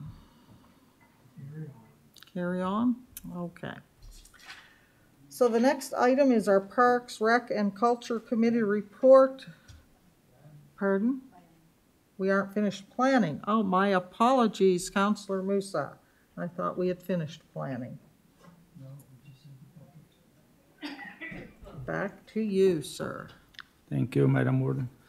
The committee had its regular meeting on May 17, 2022 in council chambers. The following motions are coming forward as a result of that meeting. Item number one, plan update background paper, Fundy vulnerability study.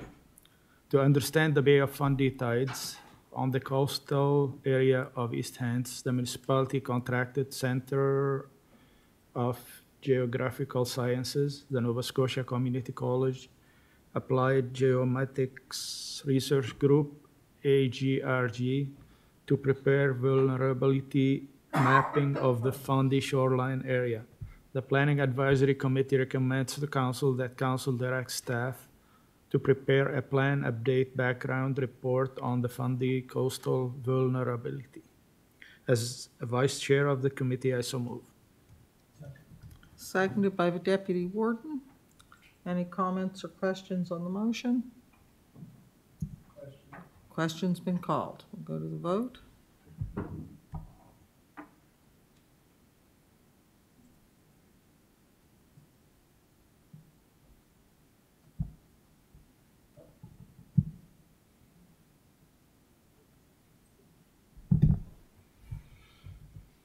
And the motion is passed unanimously by those present.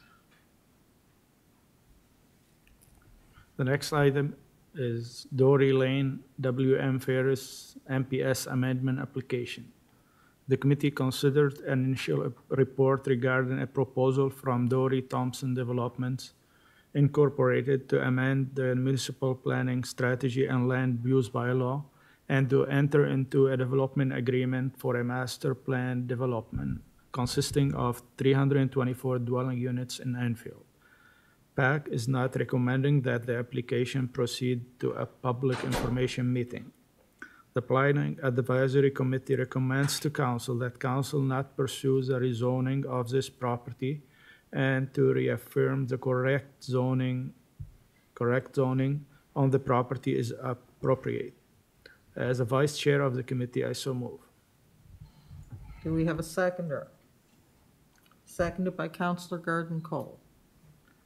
Is there any discussion on the motion? Question's been called.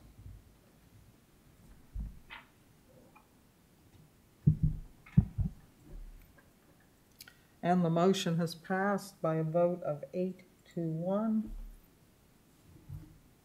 with the deputy warden voting nay. The next item is planning update housekeeping zoning amendments. As part of the ongoing plan update, planning staff identified proposed mapping amendments that are prior or housekeeping in nature, minor or housekeeping in nature. These amendments will be included in the final package of plan update documents and will require first and second reading.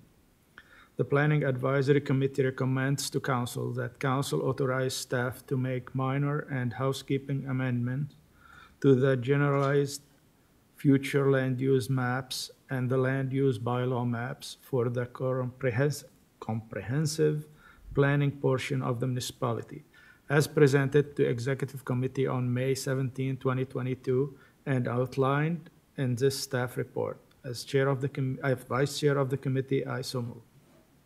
Do we have a seconder? Seconded by the deputy warden. Is there any discussion on the motion? Are you ready for the question? Question. Question's been called.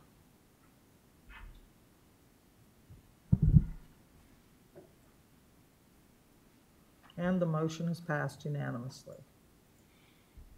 The next item is plan update background paper roosters. As part of the ongoing plan update, a background paper of, on roosters was presented to the Planning Advisory Committee in February 2022, and a second staff report was presented at the April 2022 meeting. The committee has now received a third report on the issue, with, uh, which outlined various options for regulating roosters.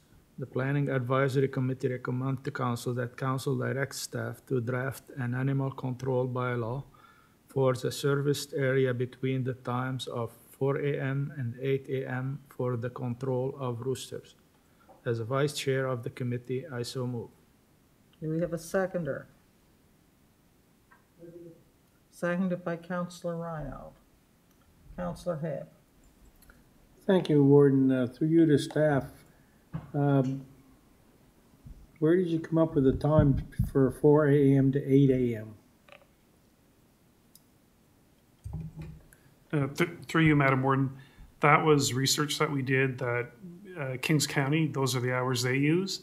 But, I mean, that was just uh, research we did, that was included in the motion uh, by whoever made the motion, so that was um, why, why it's here. Um, Personally, I, I I think 4 AM is too early. I don't, a lot of times it's going to be dark for them, and, you know, for four hours, that really doesn't, doesn't do anything. I mean, uh, for me, eight, eight to eight would be a more acceptable time. Um, That would allow them for a little bit of time in the morning to be outside and a little time in the evening to be outside, so I, I, I can't support this motion with, uh, with four to eight, but, uh, um, I, I, I think eight to eight would be more acceptable to the public. Thank you. I'd ask the deputy warden to take the chair. Go ahead, Madam Um, just going to speak briefly on this, um, I certainly wouldn't support eight to eight. Um, you know, locking an animal into a potentially unventilated building because we discussed it being, no light being able to permeate it. Um, I, I could not support that. Um, I probably am not going to support the four AM to eight AM for the simple reason that I, I don't think it will solve the problem we have because I don't think it will be easily enforceable. And by the time a rooster crows and someone calls a bylaw officer at five AM and I, I, I just see problems with enforcing, enforcement, so I will not be supporting for those reasons. Thank you. Thank you, Madam Warden. I'll give you back to chair. Thank you. Counselor Rhyno. First, I'd just like to point out, if we're here too much longer, we're gonna hear them roosters for too long. Anyway, uh, basically, this was just to put it back to staff, the staff to go back, because I asked the question, if staff, when they go back to draft this, they will be talking to places like Kings County, and they said they, they would. There's no, you know, they're gonna bring another staff report back. It's not cast in stone that it's four to eight PM. We could adjust it from, and create the bylaw from, to whatever suits best. And I think, you know, we have to keep that, in- that in mind. By passing this, I don't think it's, you know, set in stone that it's four to eight PM and that's what, that's what it's gonna be forever. Uh, I think there's room that we, ca- at the next discussion, that, uh, that uh, we can adjust times as we, as we, as we see fit or, or, or we get advice to. Thank you. I would just comment that by passing this motion, the bylaw that staff drafts will have those times in it. And then it would have to be amended at that time. Uh, we are, we're not passing, a mo- all we're doing is to bring back, staff to bring back a draft. A draft is a draft. And it can be adjusted. Any further discussion? Oh. Eli, did you have your light on, or is it just on as the chair? It's on. Okay. Okay, the question has been called.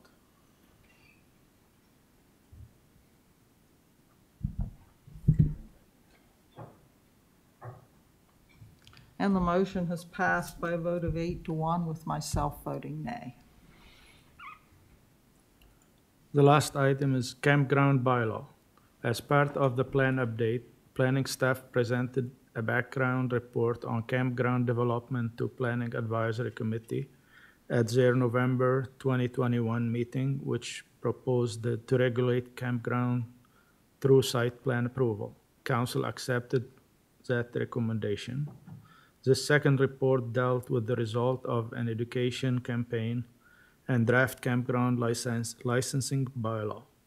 The Planning Advisory Committee recommends to council that council authorize staff to hold a stakeholder meeting with campground operators to draft bylaw P one thirteen hundred campground bylaw.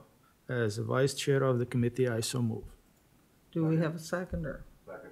Seconded by Councillor Perry. Is there any discussion on the motion? Question's been called.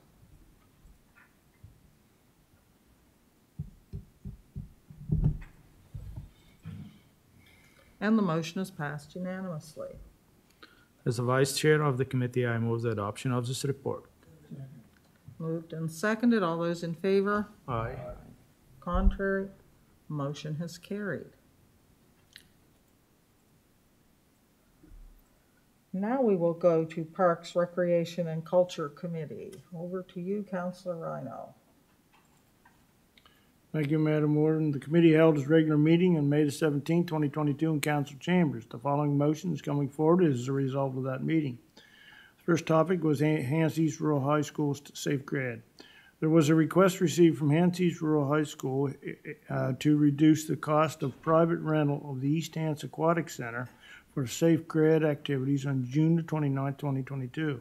So from that discussion, uh, the Parks and Recreation and Culture Committee recommend to council that the Hants East Rural High School be provided a general government grant for the amount of $800 to use the East Hants Aquatic Center for safe grad activities on June the 29th, 2022, from the hours of uh, 10 p.m. to 12 a.m., and that other high schools in the municipality be permitted the same opportunities. Chair of the committee, I do so move. Moved and seconded, I believe by Counselor Moussa. Is there any discussion? I do have just one clarification question that perhaps staff could answer. Um, other high schools in the area would be permitted the same opportunity. Would we be reaching out to make them aware of the opportunity?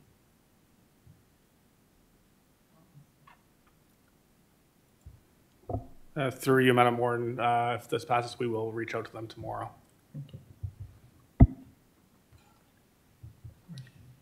Question's been called.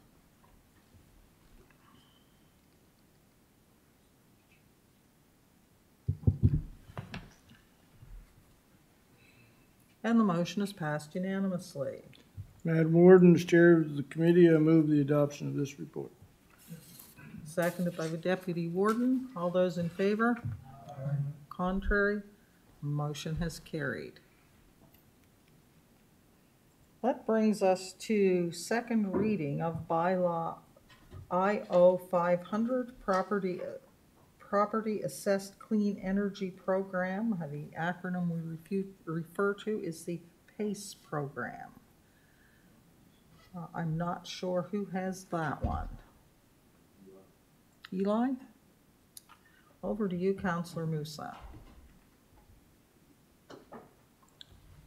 Second reading, bylaw IO five hundred, property assessed clean energy program, PACE bylaw. Council approved a pilot program for clean energy sports in twenty twenty-one. Staff presented a report on next steps, including the development of a bylaw at the April 19, 2022 Executive Committee meeting. A draft bylaw was considered at the same meeting. Council gave first reading at the April council meeting. The Infrastructure and Operation Committee recommend to council that council give second reading to bylaw IO 500, Property Assessed Clean Energy Program, PACE. As chair of the Infrastructure and Operation Committee, I so move. Seconded by Councillor Perry. Is there any discussion on the motion? Uh, Counselor Rhyno.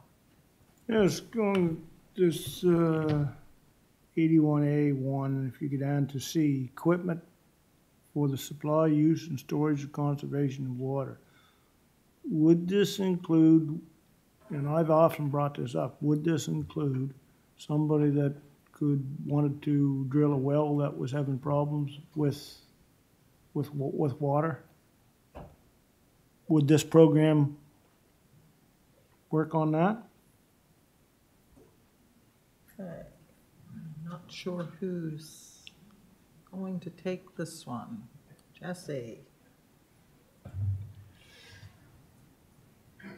Through Madam Warden, uh, the intent of the program to start is about energy efficiency so, versus sources of water. So if you were looking at pump efficiency, potentially, uh, if it was equipment that was more efficient for home use. So if you could lower your your power consumption for the same output, in theory it could apply. But for sourcing a well in particular wouldn't necessarily qualify. The, the real catchment is on energy efficiency and an energy focus on the PACE program as a whole.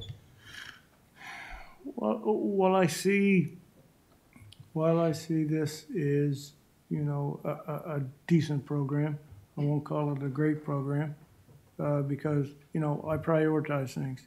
And I have pushed for here because of the last election, that was a hot topic, was wells. People, wells were going dry. Uh, they, you know, they needed that, to drill a well and, and, and the affordability wasn't there.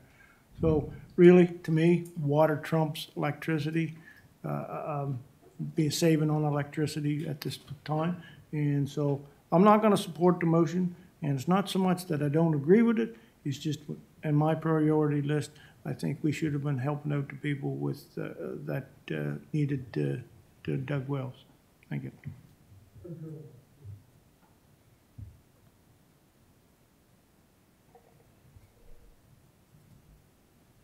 Okay. Anyone else wishing to speak? Question's been called.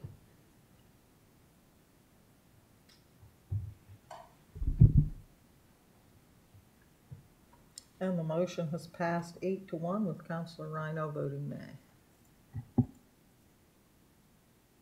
Back to you, Counselor. Oh, no, that was the I and O motion. Okay. Okay, next we have the warden's report, so I'm gonna turn the mic over to the deputy warden. Go ahead, Madam Warden, for your report.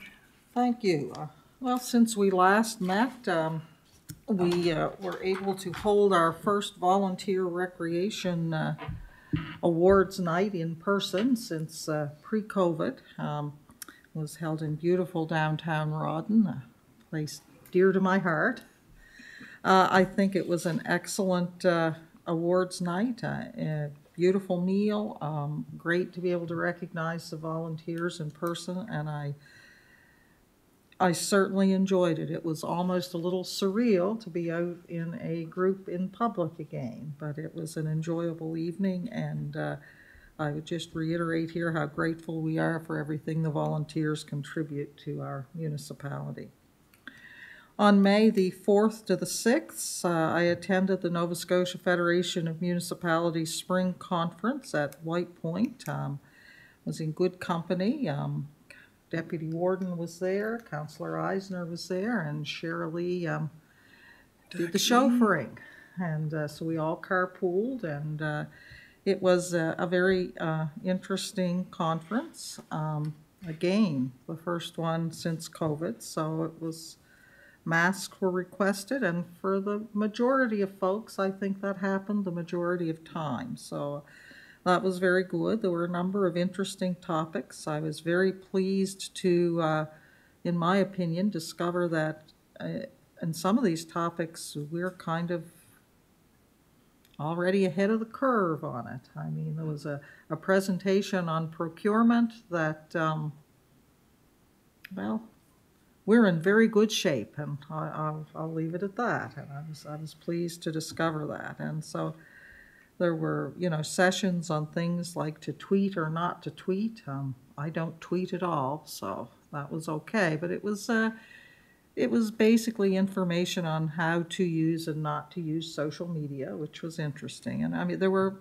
there were a number of interesting um, sessions, to be sure, and I certainly. Uh, certainly enjoyed the conference. There was also opportunity to uh, to speak to the uh, proposals of NSFM of uh, changing the way that that they or we work. Uh, there was discussion of the uh, former proposed provincial uh, non-resident tax, and that actually got canned while we were at the conference. The word came through, so all in all, a very interesting time.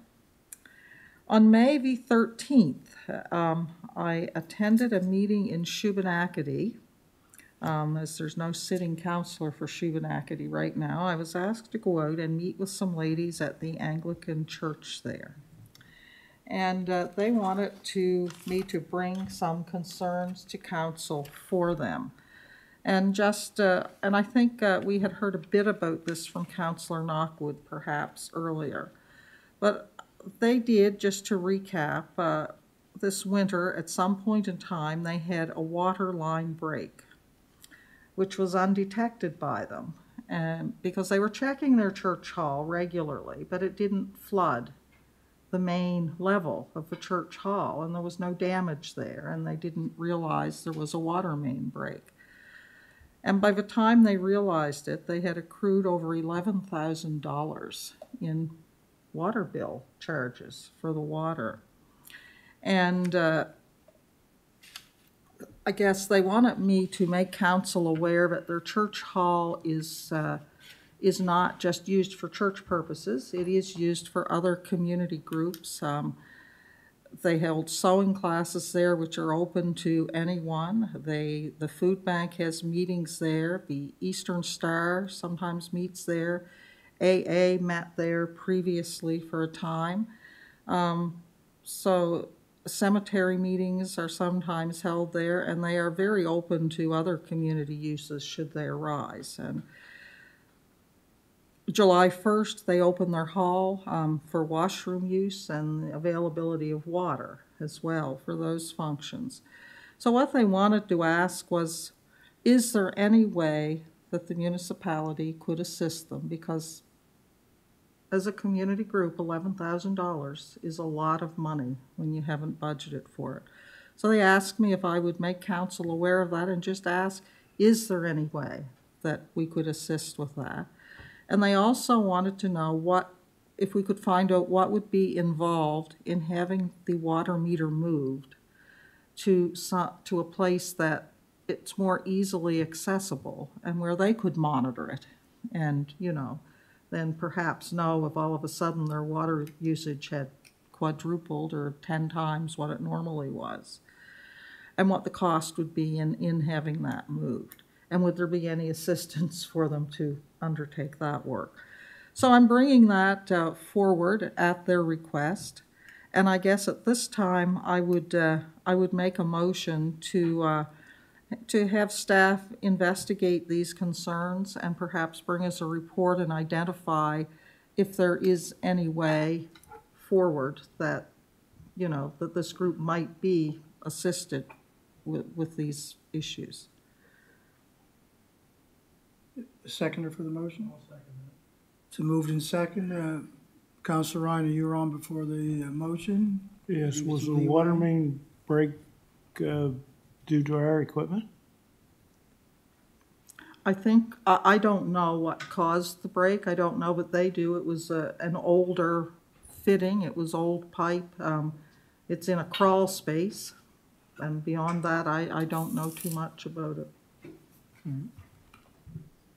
Thank you. Councilor Perry. Uh, Thank you, Deputy Warden. I just uh, support, I support the motion.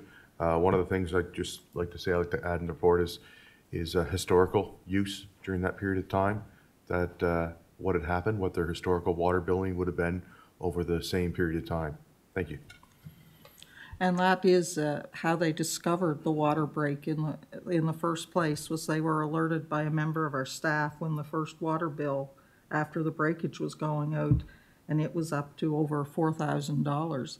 But by the time that alert was made, there had already been other time passed and then another significant amount accrued, and it was over $11,000 in total. Question, question's been called. Let's go to the vote.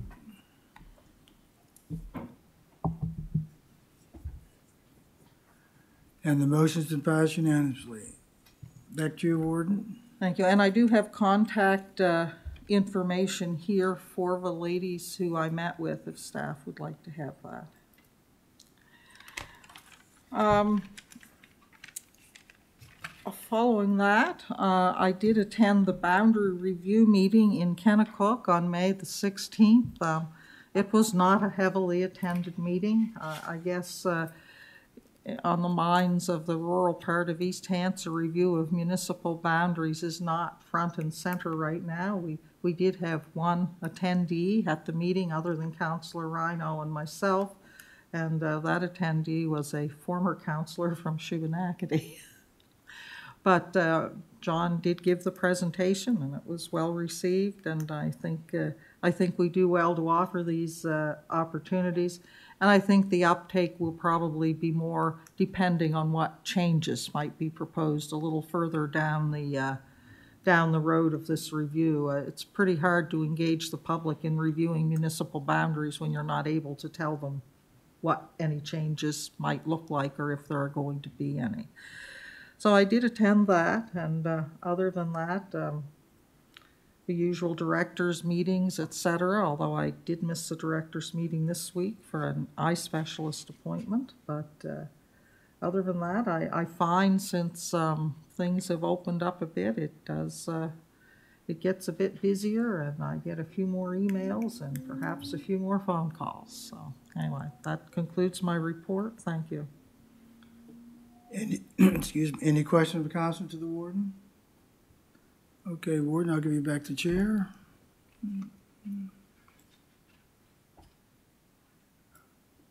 Thank you. Well, we will now go to business from counselors. Uh, Can't remember where I started last time. Eeny, meeny, miny, mo. I'll start with Counselor Hebb this time. I must be Mo, I guess. Thank you, Warden. Uh, Just like to say I attended the uh, awards banquet and the wardens uh, basically said to congratulate everybody who was there, but I also want to congratulate our staff for putting on such a good event. I mean, it was flawless and it was well, well presented, and uh, kudos to you people. Thank you. Is that all, Counselor? Yes. Counselor Isenor? Thank you, Warden. Oh, it was good uh, at the volunteer thing. I enjoyed it, and also down at White Point. It was uh, a lot of fun. Thank you very much. Thank you. And I would add that Counselor Isenor brought us lunch for the trip. Right. It was delicious.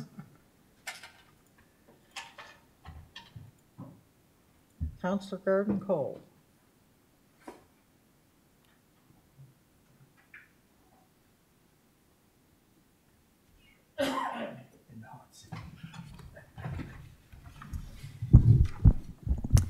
Thank you, Madam, thank you, Madam Warden, through you. Um, so the community of Enfield is awakening with the warmer weather. The ball fields are up and running. Uh, St. Bernard's Park is spectacular if anyone gets a chance to go through it. And the Heavenly Scoops ice cream stand is open for business as of the long weekend. I was pleased to attend the volunteer banquet as well. It was my first one um, at the Rawdon Fire Hall.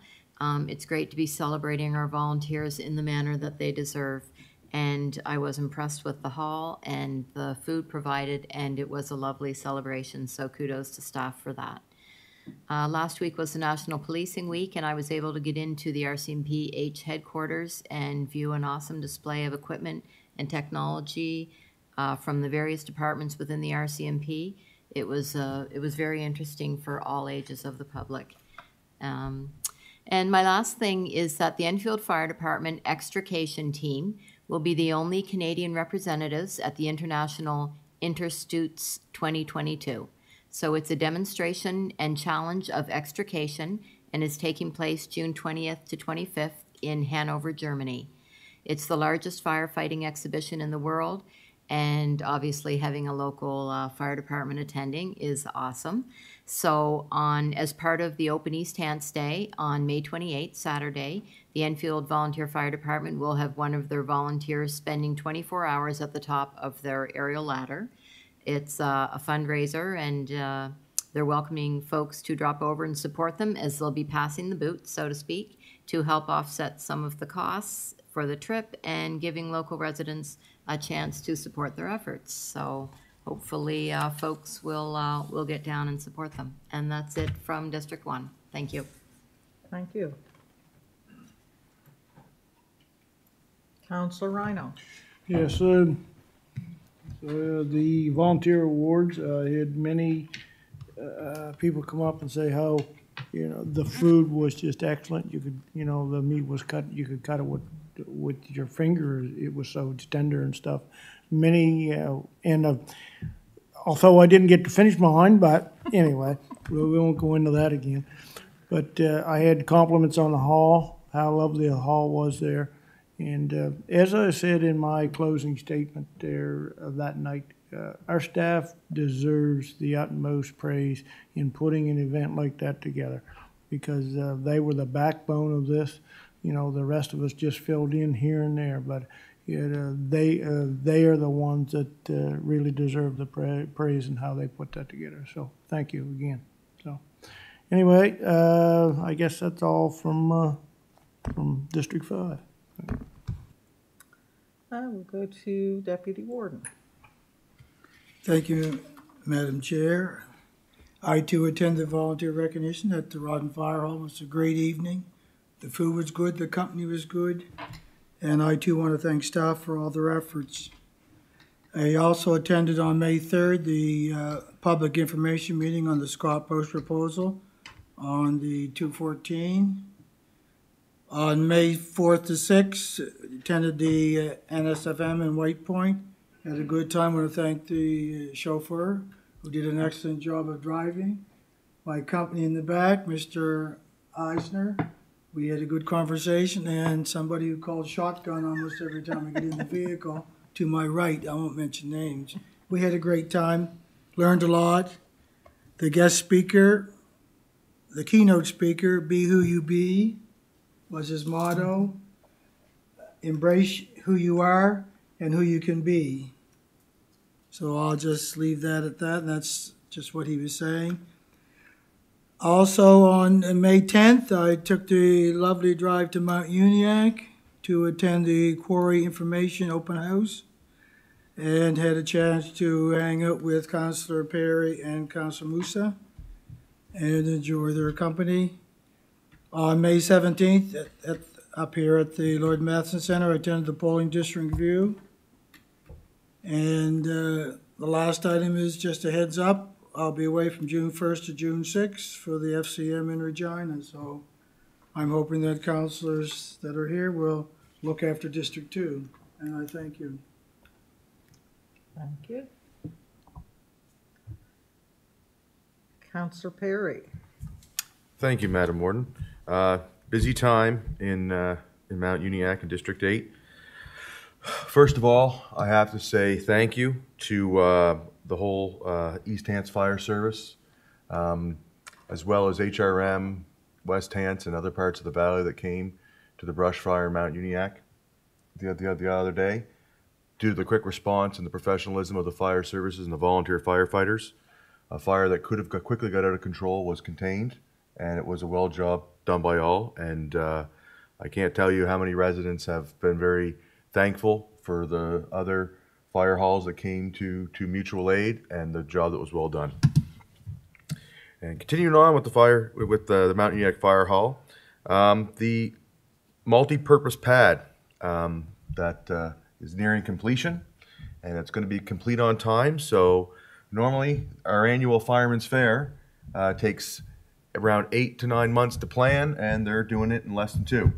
There will be a the fair is a go for June 24th and 25th, with fireworks on the night of the 24th and a parade on the 25th in the morning, uh, followed by some games of chance and midway and some some rides. It'll be a scaled back version than most years, but there will be uh, probably some good food and uh, some some entertainment and things to do for for the young people. One of the things um, that uh, I also attended on May 10th, the information drop-in session, and it was, uh, as you can imagine, um, when you're dealing with with the quarry in a residential neighborhood, lots of people uh, aren't always happy. Um, some people haven't been happy since it went in seven years ago, and they're not going to be happy as long as it's there one more day. Uh, that being said, There was, a- there was a lot of good information there uh, being provided. The quarry's application for an expansion has not been formally submitted as of yet. This information session was part of their uh, internal uh, preparation of an environmental assessment that they commissioned themselves, not through the Department of Environment. Uh, So there's been some information out there um, that is a little uh, jumbled up, um, but uh, hopefully, uh, moving forward, there'll be, there seemed to be better dialogue, there was plenty of contacts given, uh, and I think the residents' voices were definitely heard by the environmental assessment company as well as the quarry owners. I also received phone calls. Um, there's a municipal trail that's owned between uh, the properties of 222 Rockwell Drive and 103 and 111 Morning Breeze. It's a, it's a trail that connects the two roads uh, in the Rockwell subdivision. Um, lots of ATV and dirt bike traffic going through there at high speed. Uh, it, I went out looked at the trail. It's not an AT trail. Uh, it's not a multi-use trail. Um, but there's no signage that I could see uh, when I went there saying not for ATV and motorcycle and everything use. And the the issue is they're young kids, they're driving, there's now jumps, there's weaving through the woods and everything else, and there are people who are worried that when they're out going walking with their children or anything else going between the roads that they could get hit by one of these uh, individuals. Um, the RCMP have been notified, but I think uh, we should probably look at possible signage in that location um, to discourage the use of all-terrain vehicles on that walking trail, if that's possible.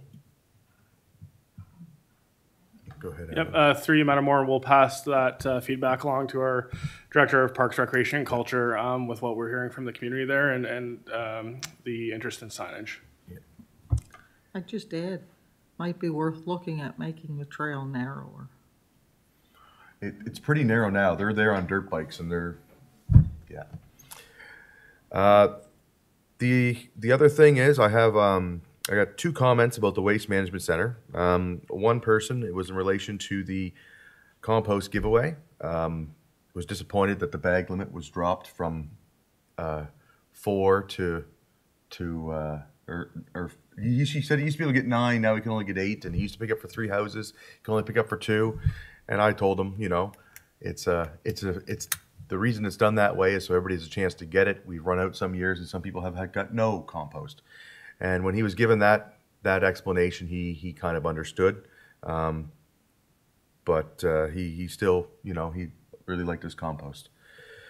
The other, uh, comment I had actually from two different residents, uh, of the Waste Management Center, and one of them was people who are very new to East Hants. They only moved here, um, last fall and into the into spring, and they did their first spring clean, and they went to the waste management center, and they could not rant and rave enough about how wonderful uh, the facility we have, how how helpful the staff were. Uh, their first time there, waved them through. Um, he drives a company vehicle, so they asked a quick question if it was company waste, and when he said nope, uh, this is this is not the vehicle they give me to drive. I'd rather burn my company's gas than my own coming out here. Um, they had no problem. They they showed him where to sort his, his waste and put it away, and he was just beaming. He was he said this is an A1 facility and A1 people. So I wanted to pass that on to uh, to, to, to staff to head on to them. And other than that, the uh, the only other thing is I I'll probably have to send you an email, um, Jesse. There's been some requests from some of the private road roads about inquiring where the municipality gets calcium chloride to do their roads. And that, and that, that that's something I'll, uh, I'll, I'll, send to you. They're just looking for a vendor. And that's it. Thank you. Thank you. Counselor Moussa. Uh, Thank you, Madam Chair. Councillor Perry got it all probably, but uh, I like to I like to say how uh, we got lucky with that fire and uh, they stopped it. Like I know so many houses, if the if the wind blew the wrong way, so we could, we could have lost few homes.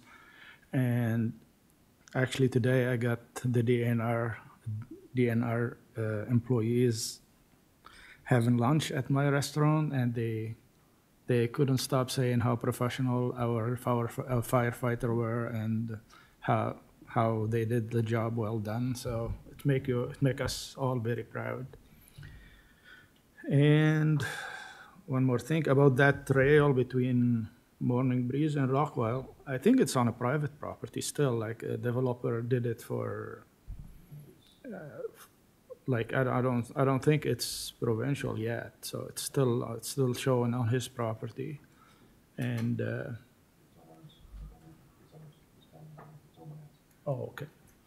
And uh, one more thing about about the compost. I think the guy I know the guy, and I and I think he meant he used to pick up for three households, like neighbors, and and making one trip is like it's 45 kilometer going up and 45 kilometer going down. So if, if we could do some, like, it's not like someone from Elmsdale picking it up or like from uh, close area, like it's a, it's a long drive. So if we could manage to do, to let them do it, like he, he, he did it every year. And I don't think like, I know, I know him very well. I don't think he meant to take it all for himself. So uh, that's, that's how I feel. So if we could do something like about it would be nice.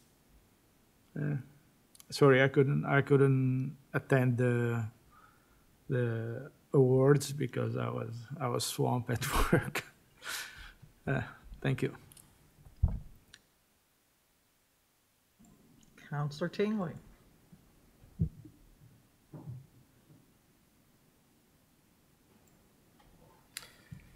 Uh, yeah, some of my uh, residents put me to work uh, uh, this month. Uh, East Hants Curling Club uh, reached out to me and asked me to help, help them with uh, removing litter from exit uh, 8A, and uh, we did that uh, the first of the month. Uh, Milford's Lions Club uh, uh, reached out to me uh, to do the same thing for the Milford exit on May the 7th, so uh, did some work with them. Uh, I'll get a job uh, working at the, uh, the uh, dump if, uh, if it keeps up. Um, Halifax uh, International Authority, I uh, attended a meeting out there, was their annual meeting. I assume all the councillors got an invite, but uh, I thought I'd go because I, I have an interest in the airport. Uh, It was interesting to, uh, to hear how they were affected by the pandemic. Obviously, their revenue was way down to near nothing uh, at the beginning of the pandemic. Uh, Last year was up by 6.9 million, uh, but they've received a lot of help from the federal government, uh, a one-time relief payment of 5.6 million and another uh, uh, wage subsidy, the uh, emergency wage subsidy of 14.7. Uh, Their business is starting to climb back, but they expect that it's going to be years before uh, it get back, it gets back to normal, but uh, they seem to be moving along. Their, their cargo is, is way up. Um, Had some interaction with NSFM this month uh, and received notification last week that I'm going to be part of their municipal group insurance oversight committee. Um, Helped out a few uh, organizations uh, in the community to get some uh, municipal grants, Lantz Beautification, Lantz Recreation. Um, I was contacted by uh, a number of parents or parents of eight children that were involved in a, a matter in in Lantz. They don't want to uh, release what the information or what they were involved in, but they helped out with something, and they were looking for uh, certificates of recognition uh, that the RCMP are going to present to them uh, tomorrow, I guess. Um, so uh, staff helped me with getting the certificates, and uh, um, the parents and the children, I think, are pretty pumped about uh, that. Um, ATVs, you mentioned ATVs. Uh, I get some calls about ATVs, and that they seem to be uh, everywhere, like on the roads, trails, uh, and all hours of the night. You know, eleven o'clock at night. Uh, I, I'm not sure what you can do about it. The police have a pretty hard time of uh, enforcing anything with that because by the time they get there, they're gone. Uh, the rest of it, just routine calls about s- storm drains, uh, um, cleaning storm drains, uh, uh, questions about roads, uh, had one question about garbage, a little minor garbage problem. Andrea Trask responded to that qu- really quickly and got it settled. The, the lady contacted me. She was really pleased about it. It was a minor issue, but um, everything that I'm involved in, that staff get involved in, they, they just seem to respond to it very quick.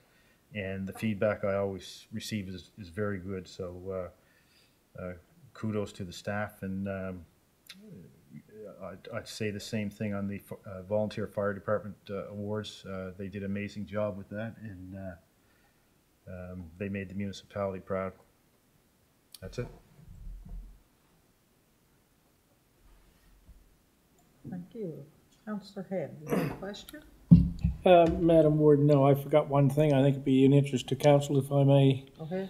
Uh, the local ATV club, Fundy ATV, held a spring rally in Kennetcook, and it was a huge success. Uh, 470 machines, and they partnered up with the uh, Hants North Ball Association. Each club uh, made a profit of over $5,000 each. And the firemen washed machines off, and they made over $800 just washing machines. And the club donated, I think it was $400 to the fire department just for use of their facility and whatever not. So, um, in response to your about ATVs, believe me, the RCMP and DNR are aware of all this, and, and it Advance is right on their tail, uh, wanting to get some kind of uh, enforcement out there. But um, what we're being told, it's a staffing issue and stuff. So um, everybody's well aware of it, and uh, our local club, we, we deal it on a regular basis with problems too. So just wanted to bring that up. Thank you. Okay, folks. The next item on our agenda is, uh, there are three in-camera issues. Um, I know at least one of them is time sensitive. I know the hour is late. I don't anticipate that any of them will take that long. I'm willing to stay if you are, or alternatively, we would have to come back Thursday evening and deal with these. Not hearing anybody racing for the door then, I would be looking for a motion to go in camera to discuss land and contractual issues. Moved by the deputy warden, seconded by Councillor Perry. All those in favor?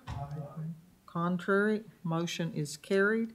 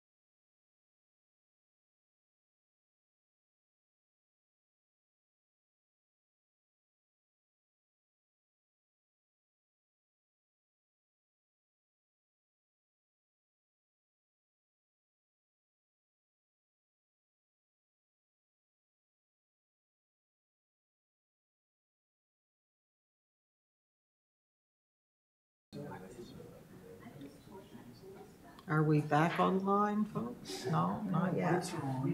No, we're not online yet. We're not online yet. Not on our YouTube. but- Is Kim still up? Probably. Yes, she is. Kim's still here. You've been here longer than I. Bedtime. Okay, folks. Okay. We're being recorded. Okay, folks, we're back uh, online. I would report that we met in camera to discuss a land issue and some contractual issues. Uh, Direction was given to staff uh, in our in-camera session, and there is, is a motion coming forward as well. Who wants to make that motion?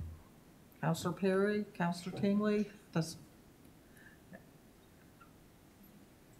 Go ahead, Counselor Perry.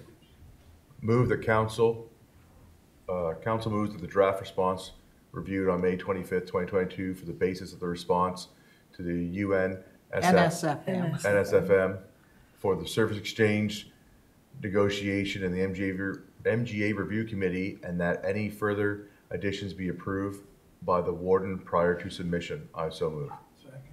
Moved and seconded. Is there any discussion? Question. Question's been called.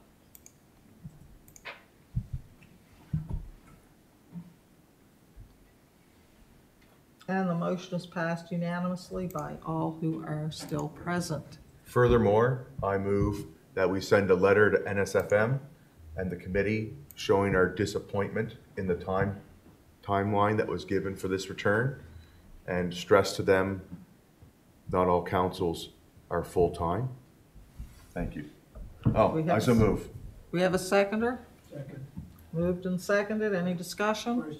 Question's been called. All those in favor? Aye. Oh, I guess actually we're supposed to go to the vote on that one. It's late. Look at that. It goes. Oops. Passed, passed unanimously by all present.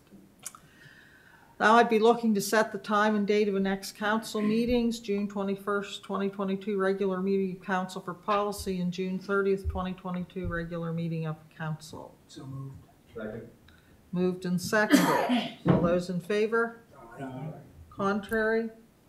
Motion is carried. I'd be looking for a motion to adjourn.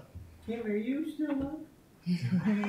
We're online, folks. A motion to adjourn. moved. Second. Moved and seconded. All those in favor? Aye.